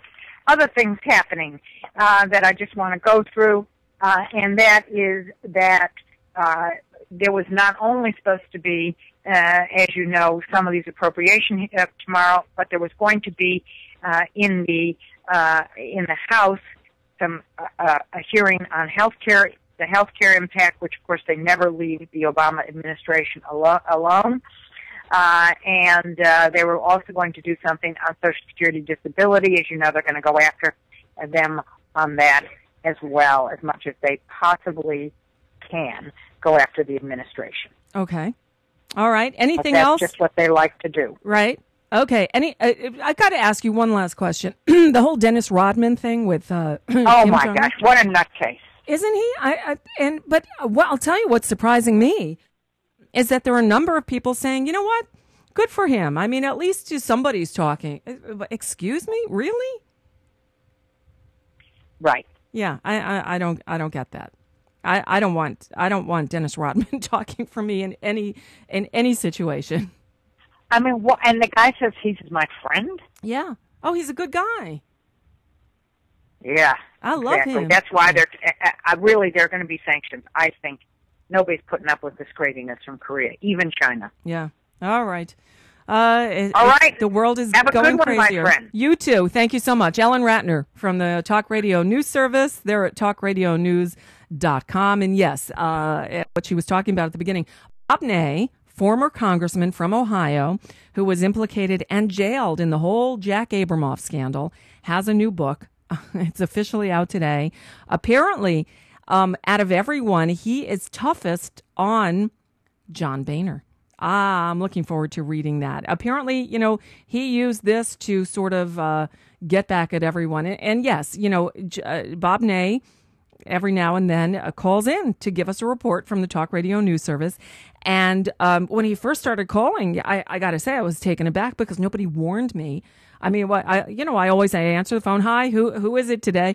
And when the first time I heard Bob Ney, I'm like, Bob Ney, like that Bob Ney? Real? Wow. Well, let me ask you a couple of questions. And, um, you know, he got very sort of uh, quiet. And um, then I heard from Ellen, and and and you know what? Bob Ney has, I think, given one interview about all that went down, uh, with with the caveat that I'm writing a book. Once the book is out, then it's all fair play. And so now the book is out. So, oh, I will uh, hopefully get it before the weekend, try to read it over the weekend, and have Bob Ney on next week for a, uh, I hope, a no holds barred uh, conversation about it. All right, let's take a break and come back with Amy Simon. It is Women's History Month. And what better place to go to talk about it than to She's History? Amy Simon up next. Nicole Sandler, radio or not. Hear why I think the Republican Party's national platform is good for America. Today on Hightower Radio. Well, now, here's some unexpected news. It comes from what purports to be an official document of the National Republican Party. And wow, the policy positions it contains show that the party leaders really are serious about coming to their senses and rejecting the plutocratic extremism and far right wackiness that has stained their recent presidential, congressional, and gubernatorial campaigns. Right at the top, this 18 page manifesto proclaims that, quote, our government was created by the people for all the people, and it must serve no less a purpose. All the people. Forget last year's ridiculous pontifications by Mitt Romney and others, dividing America into virtuous creators, like themselves, and worthless moochers, like you and me. This document abounds with commitments to the common good. Quote, America does not prosper, it proudly proclaims on page three, unless all Americans prosper. Shazam, that's downright democratic. And how's this for a complete turnaround? Labor is the United States. The men and women who, with their minds, their hearts, and hands, create the wealth that is shared in this country, they are America. Holy Koch brothers, share the wealth? Yes, and how about this? The protection of the right of workers to organize into unions and to bargain collectively is the firm and permanent policy of the Republican Party. Eat your heart out, Scott Walker, and you other labor bashing GOP governors. The document also supports the Postal Service, the United Nations, equal rights for women, expanding our national parks, vigorous enforcement of antitrust laws, and raising the minimum wage. New enlightenment in the Grand Old Party. Hallelujah. This is Jim Hightower saying, Can all this be true? Yes, except it's not new. This document is the Republican Party platform of 1956. If you like these feisty pops of populism that Hightower zings out on the airwaves, check out the Hightower Lowdown. Jim's monthly newsletter provides the in depth lowdown on what the greed heads of Wall Street and the boneheads of Washington are doing to us behind the scenes. With Hightower's saucy Texas humor and truth telling populist perspective, the lowdown literally can lift you up. And get this you can have the lowdown delivered to your mailbox or email each month for only $15 a year. Yes, 12 issues, only 15 bucks. Check it out, hightowerlowdown.org. Hi, friends. This is Thom Hartmann. This is Stephanie Miller. Hey, this is Hal Sparks. I'm Brad Friedman. I approve of Nicole Sandler's RadioOrNot.com. Radio or not? Radio or not? RadioOrNot.com. RadioOrNot.com. RadioOrNot.com. RadioOrNot.com.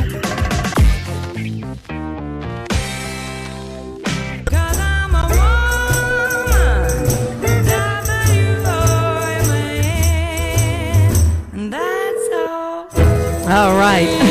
Hello. Hello, Amy Simon. Uh, it is March. That means it is uh, uh, so so happy um, uh, Women's M- Month. What? uh, Um, uh, not National Women's Month. What's the official title? Oh, I cannot wait to tell this story. okay. yes, what is it? Is it Women's History Day? Women's History Women's Month. History Yes, Week? Women's- Is it Women's History Month? Is it in? What the hell is it? Well, I have all the answers. Okay, and Friday is International Women's Day. That I know. Yes, and it's also my daughter's birthday. Oh, okay. And my sister's birthday, and I must say that both of my daughters are born in March, and I think it's just hysterical Really? that I made such personal history Look of Women's that. History Month. Look at that. Okay. All right, so first I'm going to talk. I have such a great story. Okay. I can't wait to tell it about the history, if you will, of Women's History Month. Okay.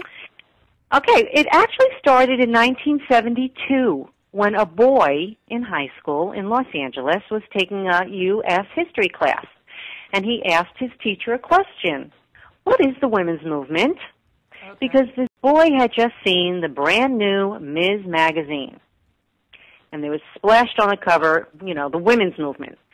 So Molly MacGregor was a 26 year old history freak who was this boy's teacher. She was his history teacher. She went to school for history and was a history teacher.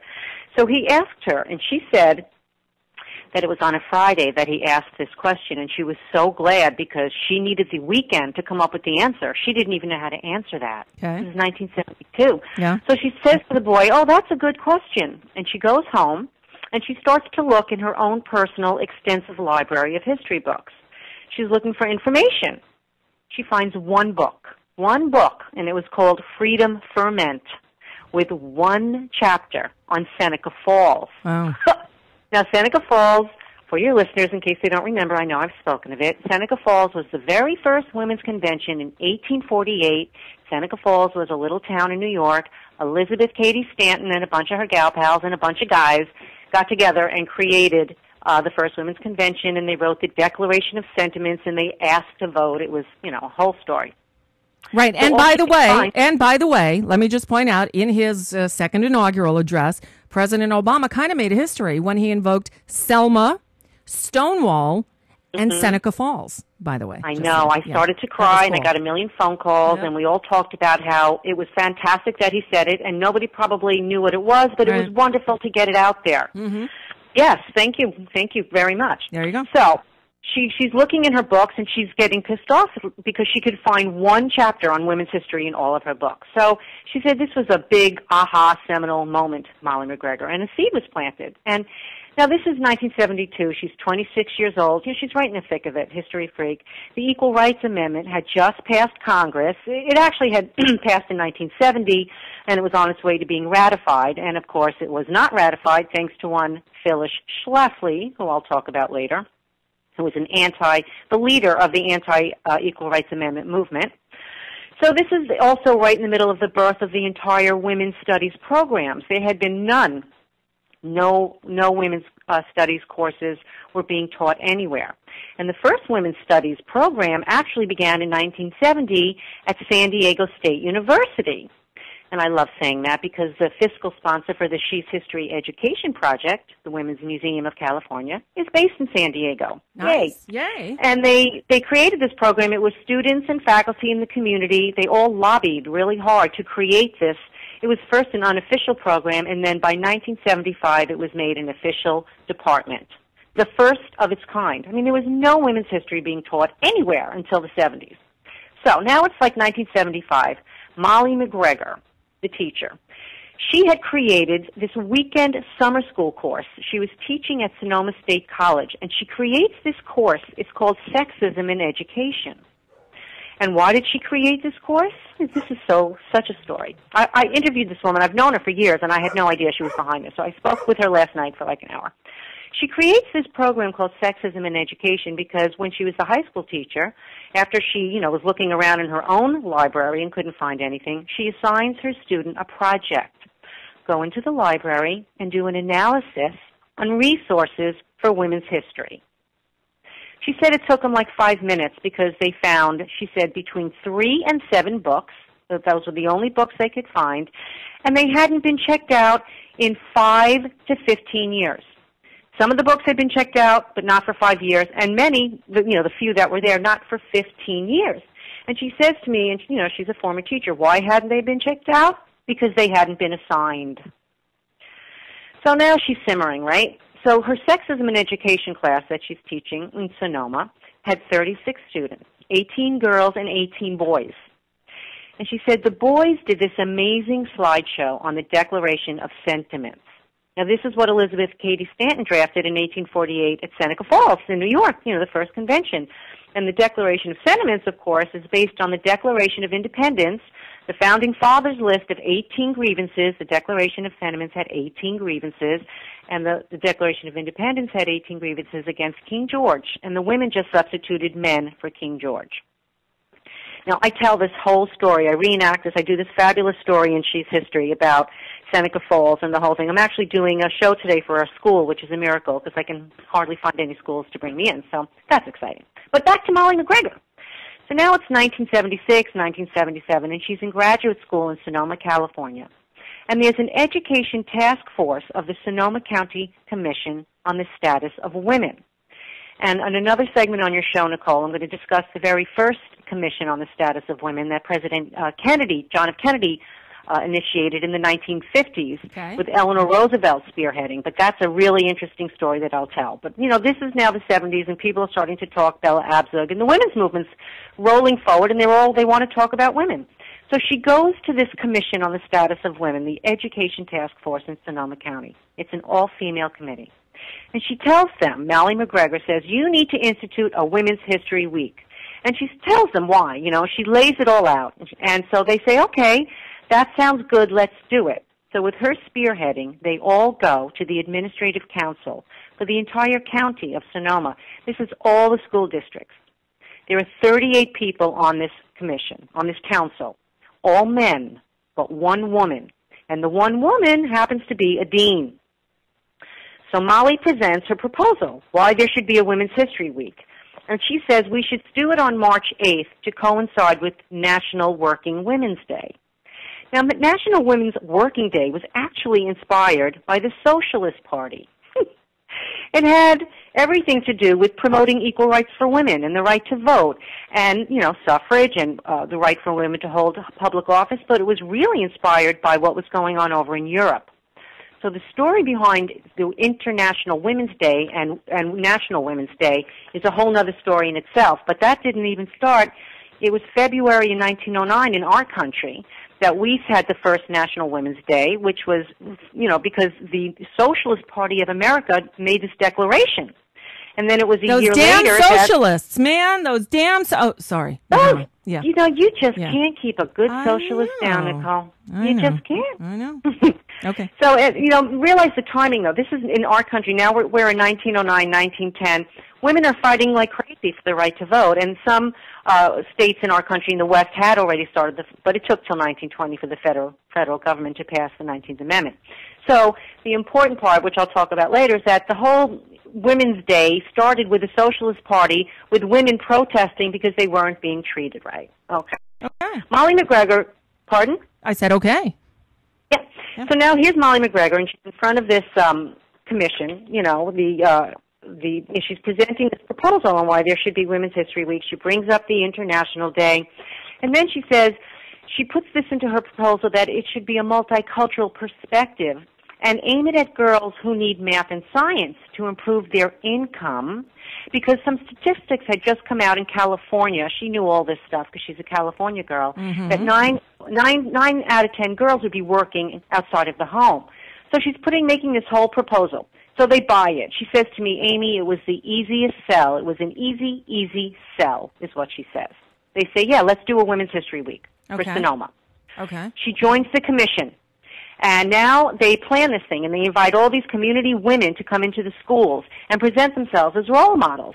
And it's this really big Sonoma County community event.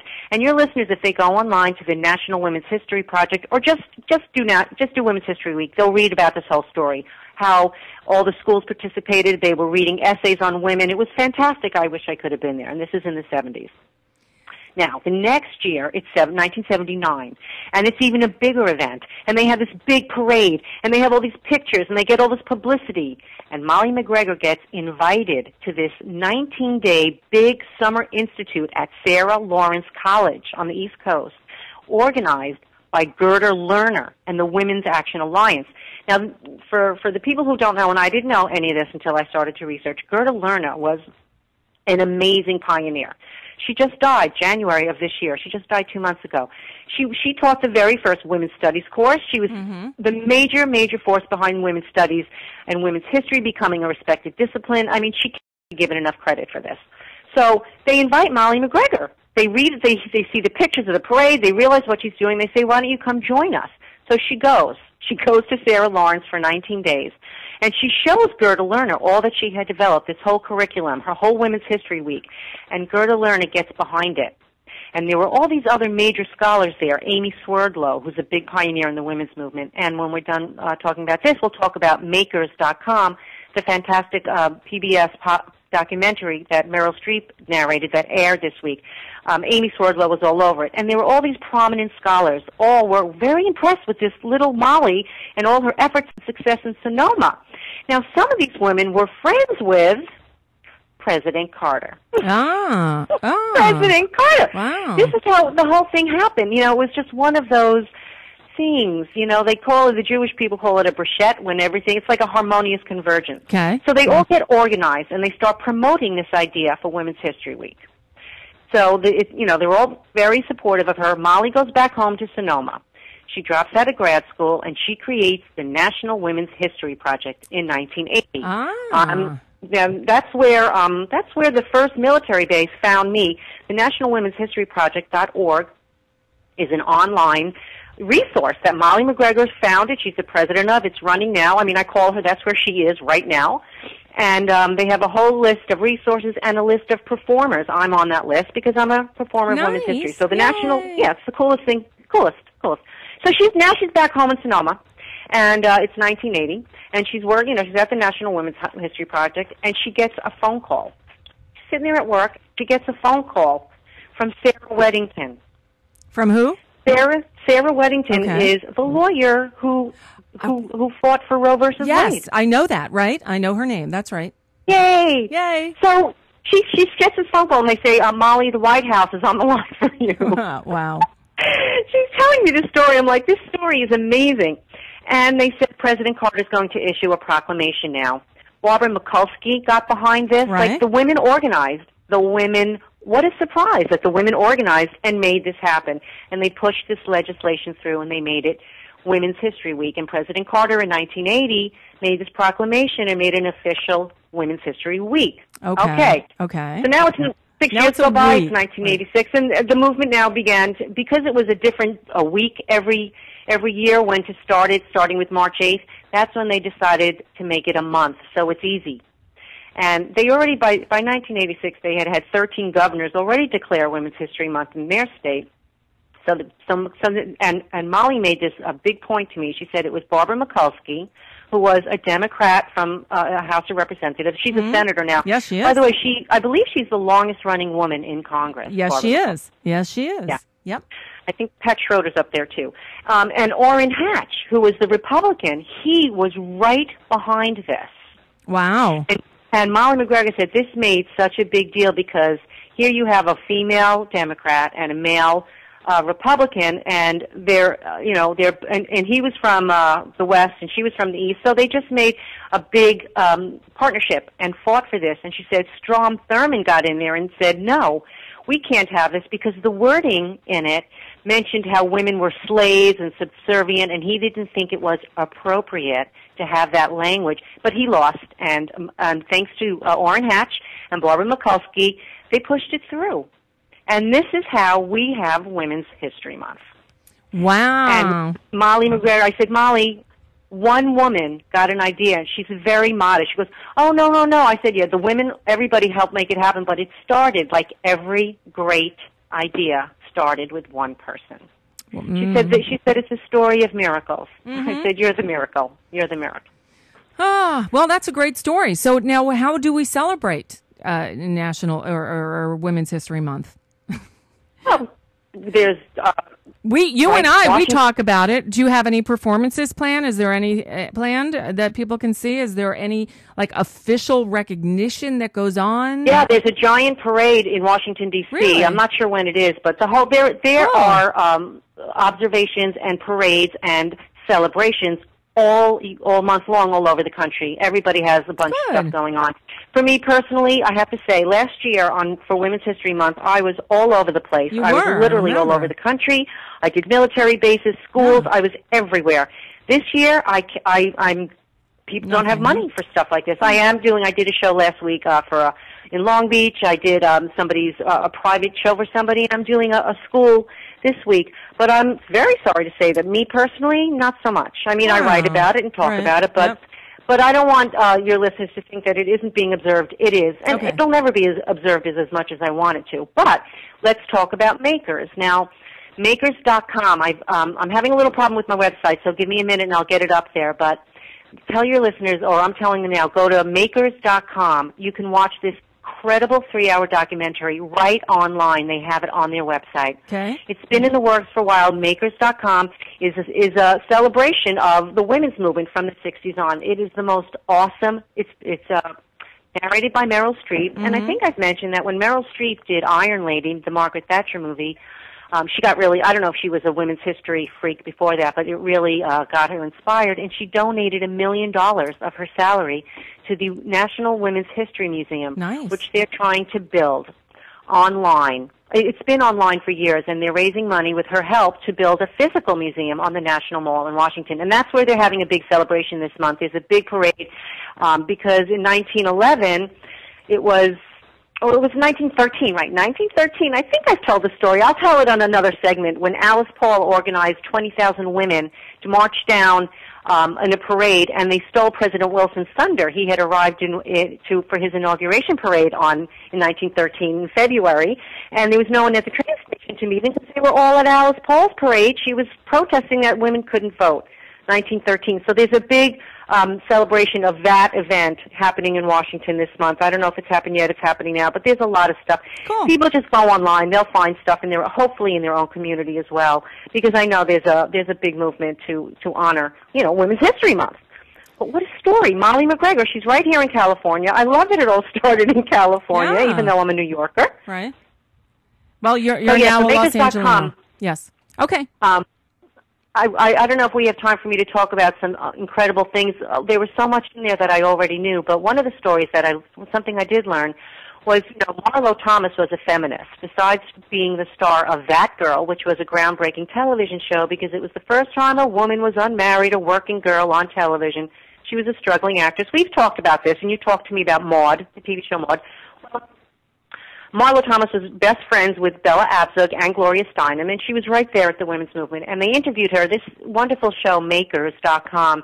They interviewed everybody. Everybody, you know, not everybody. It's just fantastic. They, you have to watch it. Okay. So Mar- Marlo Thomas is telling the story how she was an actress, and she was, you know, she was also was Danny Thomas's daughter. So, Sure. she, but she was very talented.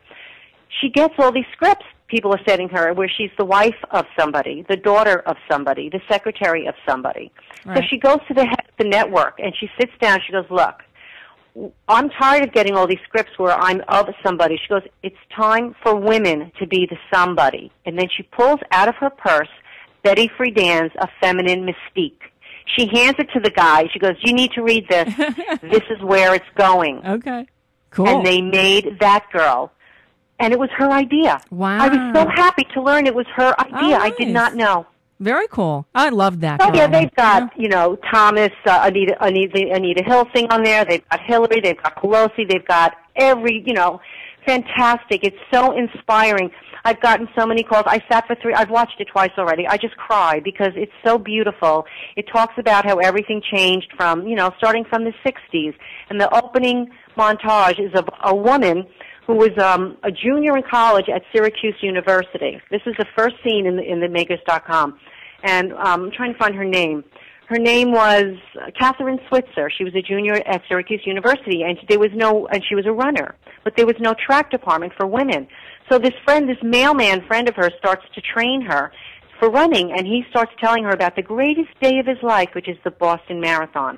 So she decides she's going to run in the Boston Marathon. This is Meryl Streep telling the story, narrating the story, Uh-huh. and they're showing footage. So she starts running in the marathon, and the guy that ran the marathon, not physically ran it, but was the head of it, who put it together, the producer, whatever.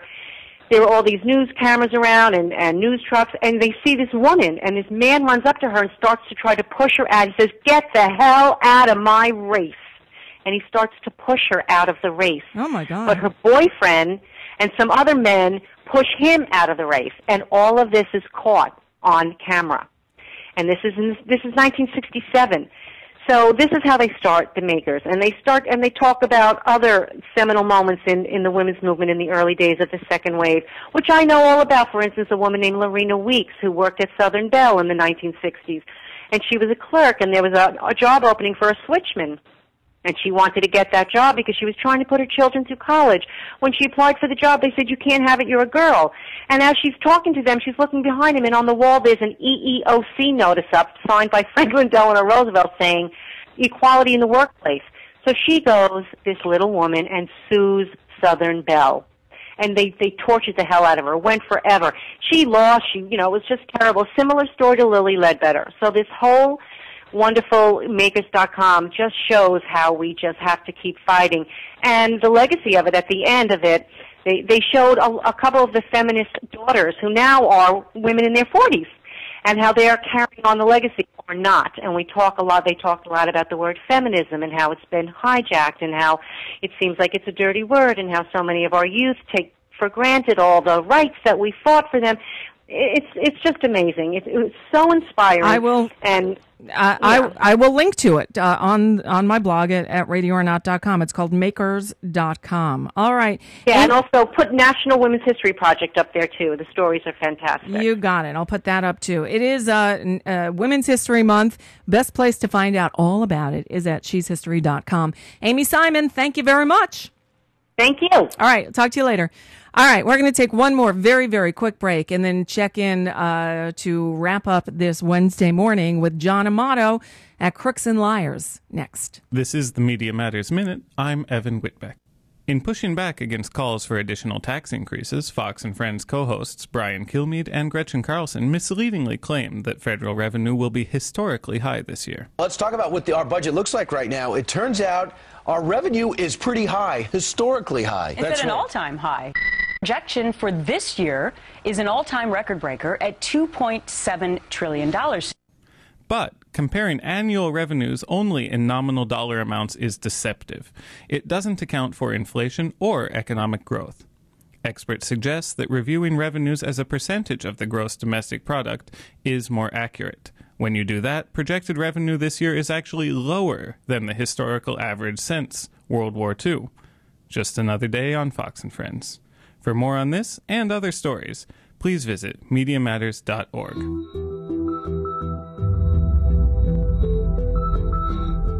All right, we're going to waste no time because we are running late today. Let's, uh, oh, hold on. I got to do.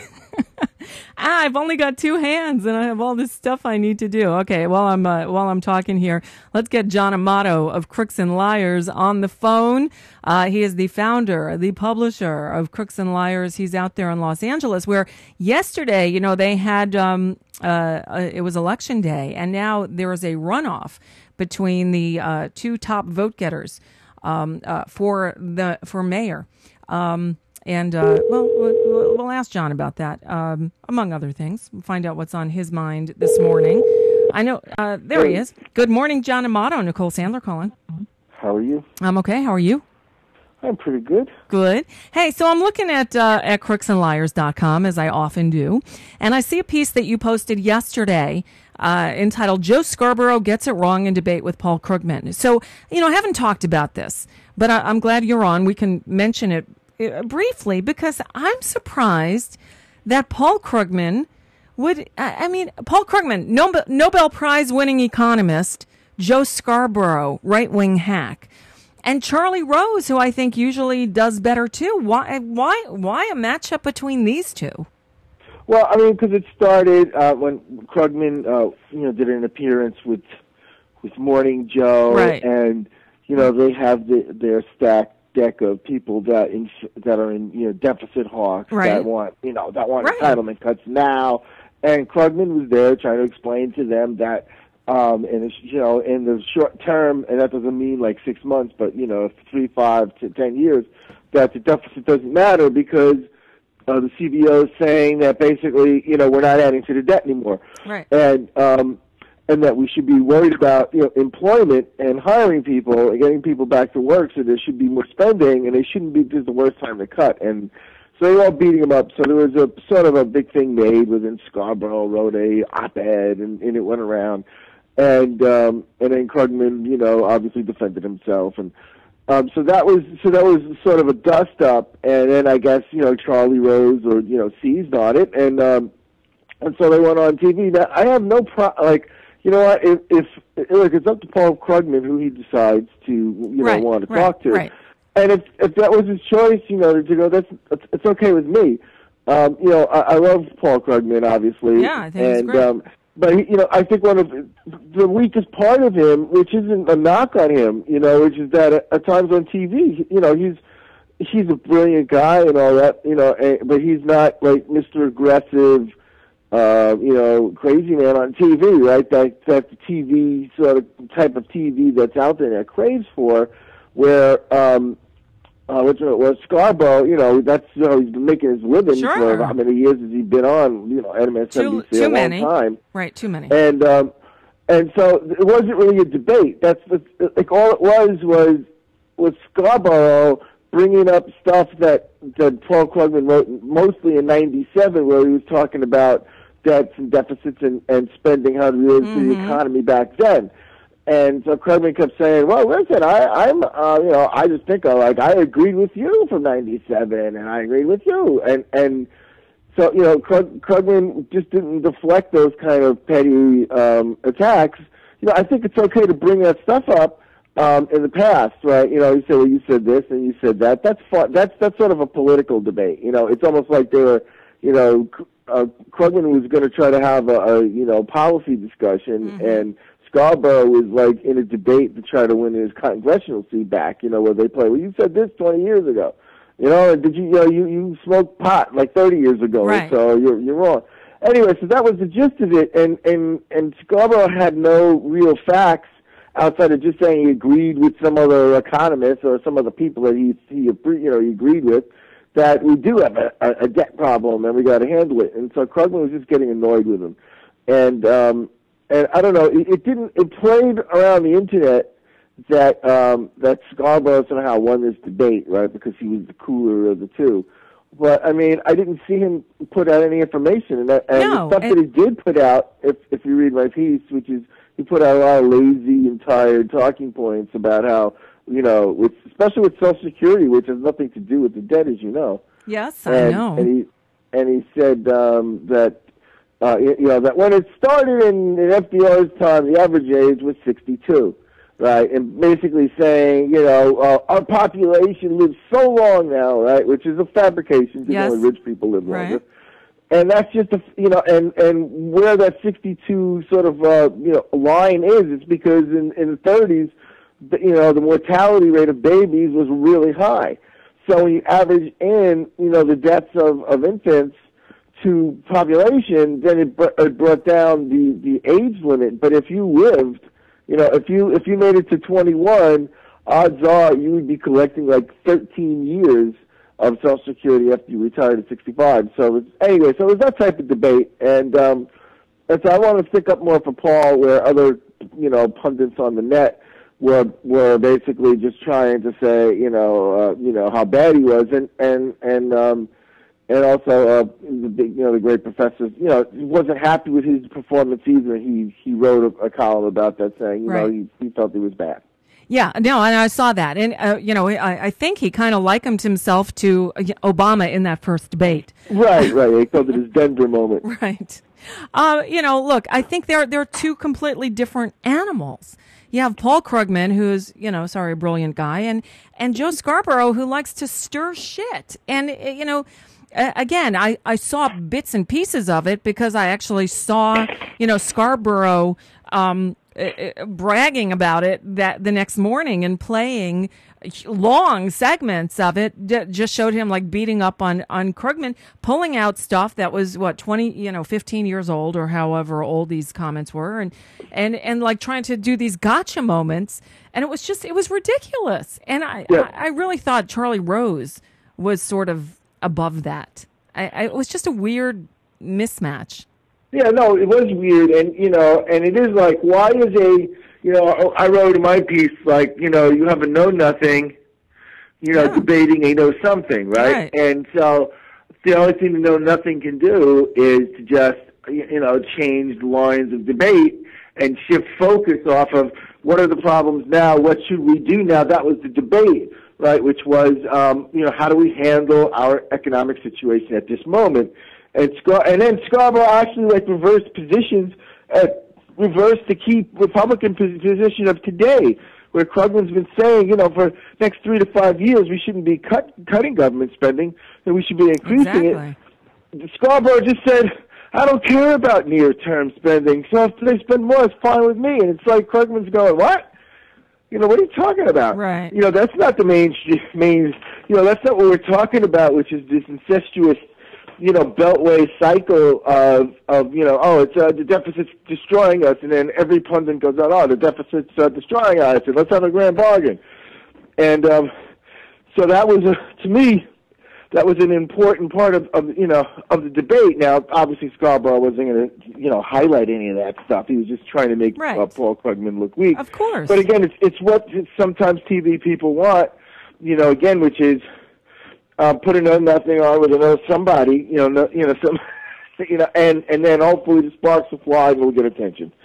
And for for that, you know, it did get attention, and um, and so I thought myself it was relevant to post about. Um, and so that that was that, you know, and and um, yeah, I, I watched it. I was up, you know, late watching it, and I was just I was tweeting it. It's like, you know, and uh, Scarborough had no facts to back up his claims, you know, outside of of again, you know, reciting some stuff that Krugman wrote, and all Krugman had to say really, and, and and he was off his game, but I never really look at him as a very good TV debater. No. that's just not a strong. No, suit. he's not. He's he's not. And so to go up against uh, Joe Scarborough, who relies on facts and and uh, I, I did catch one part where um, you know Paul Krugman went at him. It's like well, all you've got is ad hominem attacks, and Scarborough's like just attacks him on. It's like you know what? Stop. Scarborough's about theatrics and and just being an asshole, and Krugman's trying to you know talk about economics. It's there are two different things here. So Yeah, I mean, it wasn't really. It wasn't, you know, like in other words, because it's all all Scarborough did, so it, it started to annoy Krugman, and instead of just saying, well, "Listen, you know, when conditions change, you have to change with it." You know, and when he was saying this stuff in '97, um, or even 2005, we didn't have an economic destruction. Right. You know, the, the, the economy didn't collapse. Right. You know, I mean, worldwide, not just in America. So you don't, you know, so it's not like, well, what I said in '97 exactly holds. I mean, even though things did, you know, were right. Now that we have this huge problem, we have to do, di- you know, do things differently um, to to fix them. So, you know, um, it's so that's you know tha- that's what it was all about. I hear but you. um, it's still you know we cover it here at, at CNL, and then we have a new piece. Um, you know, it's on our video cafe site. And I don't know if, if you guys talked about it, but I don't think I've ever seen O'Reilly get that crazy at, at Alan Colmes Yeah. before, or any any sort of body. I mean, outside of you know people that he really hates, like a Michael Moore, and it was kind of bizarre. I don't know if you guys. yeah you i didn't that. but here let me let me play a little bit of it um uh, just waiting for for it to load here um yeah bill o'reilly i yeah i've got problems with it here here's a here's a little bit um Hi, I'm Bill. O'Reilly. Thanks for watching us Oh, tonight. God, the real reason voice President Obama is not trying to solve the fiscal chaos. That is the subject of this evening's Talking Points memo. All right As i guess have i guess I'm i get- guess hannity comes in after this let me let me American people to suffer. He's making it believe that for a impossible to get anything done. Do you agree with that? for a second. Yes, and so you have to go back to who Barack Obama is. Uh, this is not to true. it. He yes, said it that. is. He had said It's he was- he was All right, willing to cut hold these it. programs. Hold it, because now I'm getting teed off of you. Give me one damn program he said he cut. He has cut One. entitlements. He has cut Not Why entitlements. One program. What do you want to yell at? Because you're you- lying. I'm not lying. You are Don't call me a liar. here. Don't, don't you sit there and call No, me a liar. you're lying. I'm not Give- lying. Hey, you, here's just- the you, proof. don't, you don't like the Here's the president. You don't like what he's doing. Give but me- don't sit there and call me a liar. I am. Give me I'm not one lying. program. But we can have a disagreement whether No. you're calling me a liar. That's not No, necessary. you're lying That's here. not necessary. You are lying. I'm not lying. We have There's a a disagreement. There's a difference between having a disagreement and calling me a liar. Yeah. That's a personal This attack. is why I'm calling you a liar. Give me one program he said he cut. He would cut Medicare and Medicaid. That's he would actually not cut specific he offered cuts to program. What? You asked me a program. Those Oh are programs. All right. That, those are programs. Okay, you know when wow Yeah, it was it was very odd because um, I mean Colmes didn't really say anything, and I you know what was I, I didn't really get what O'Reilly was going crazy over. You know, he's O'Reilly's been going nuts because you know, obviously we're not cutting every government program, and so O'Reilly's freaking out, right? And Right. so when he asked, you know, when he asked Colmes, he doesn't want to cut anything. Colmes is saying he is making, you know, it's been stated a billion times that he's, you know, he'll do all these cuts and O'Reilly's just not buying, you know, not even listening to it. It, it was like bizarre. But if you see the video, we have it on CNL. I mean, O'Reilly's eyes are bugging out of his head. Yes, he, and he's I- like pointing his finger. He's like, "You're a liar! You're lying! You're." I, I, I thought his head was going to explode. Uh, yeah, I mean, um, I, I didn't watch the whole show after that. I didn't have the time, but uh, you know, Ellen, who writes for us and Newshounds, you know, then said that Stossel came on later and actually told, uh, you know, told O'Reilly that he was, you know, obnoxious and out of line, Wow. and he was. But it's, it's, you know, I wrote, I was writing a piece, and one of my other writers actually finished one, so I, went with. You know, it's the Great Heather, and um, and, and I was just calling, you know, Obama dyslexia syndrome. And uh, it was, you know, Obama derangement syndrome has really gotten into O'Reilly, and I have a feeling, you know, this this will be the start of what we've been, which is the, the great like sort of Tea Party meltdown again, and uh, they are going. They they want- there's a lot of conservatives that just will not be able to handle the fact that they have to wait another four years for another election, and, and the Democrat uh, is in power, and it's Obama. Right, And no, they- um, they it's hate- going to really. There's going to be some ugly things happening in the next few years. It's sad to say, and I don't like to predict that, but um, you know, and this is this is sort of precursor. If O'Reilly is, you know, spewing spittle and his eyes bugging out Yes. over something, you know, ridiculous, uh, what's going to happen? No, You know, I, I hear you. Hey, now, know obviously his his you know viewers are a bit too old to go out there and, and protest, but um, it you know it gets around and it riles up some of the real fringies. Right. Hey, John Amato, I want to ask you in the couple minutes we have left. You live in, in Los Angeles, and yesterday was election day, and uh, Los Angeles is electing a new mayor. And um, eh, there's now a runoff. Uh, the the two top uh, vote getters in yesterday's election were the real progressive, from what I've read, Eric Garcetti, and um, Wendy Greuel. Uh, that's a bad name. Uh, Wendy Greuel. And uh, but today, apparently, the SEIU came out and endorsed Wendy Greuel. The runoff is going to be um, uh, when in uh, uh, let's see, May twenty first. Yeah, I mean, you know, myself, Howard Digby, you know, Blue America PAC, we've been supporting Eric Garcetti, um, you know, for years as a city councilman, and he is really a tremendous, pol- you know, a politician, but a, a great Democrat, and he's a, a, you know, a good, true progressive voice. So, um, you know, it is sad that SEIU is supporting Wendy Greuel. Um, you know, Eric Garcetti did get endorsed by the LA Times and a lot of various other groups. And, you know, we're just hoping that he wins this because uh, he's a he's a guy that if he wins the mayorship, you know, there's long term future for him. He's um, you know, he he he can eas I think he could easily become the governor of California and then lead on to other things. So he's a rising star for the Democratic Party, and this would be, you know, it wouldn't be the end of the world if he lost, but it would be, uh, you know, devastating for for a lot of us and, and all the supporters. Now, is Eric Garcetti related to Gil Garcetti? Yes. Is that his son or something?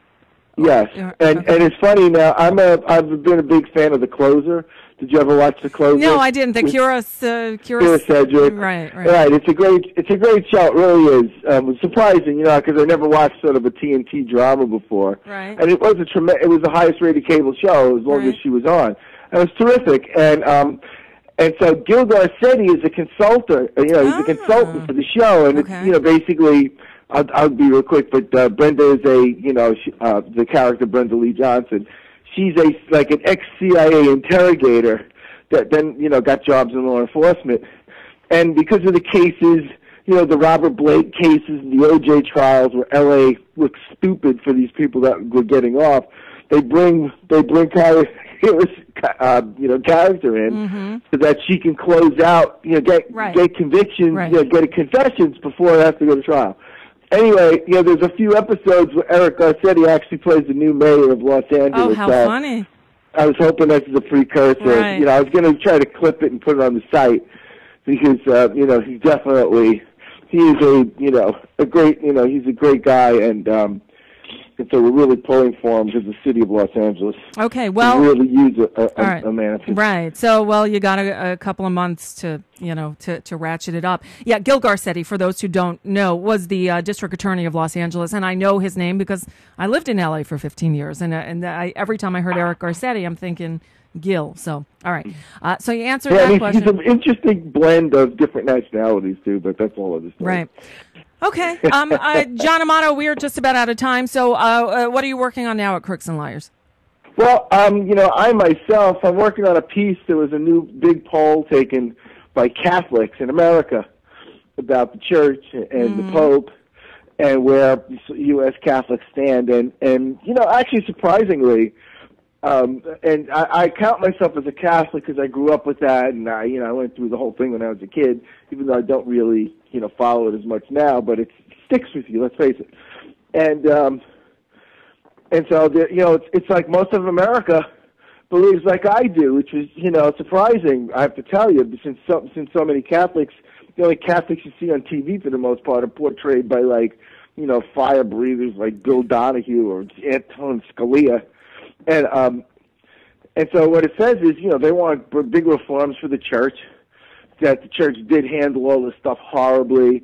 That the Pope, and what's most interesting is, you know, the Pope's word um, used to carry so much weight in Catholics, you know, through the centuries. You know, sort of he laid down the law, and and that was church doctrine. And now people are like making their own decisions. They don't take what the Pope tells them seriously Right. anymore.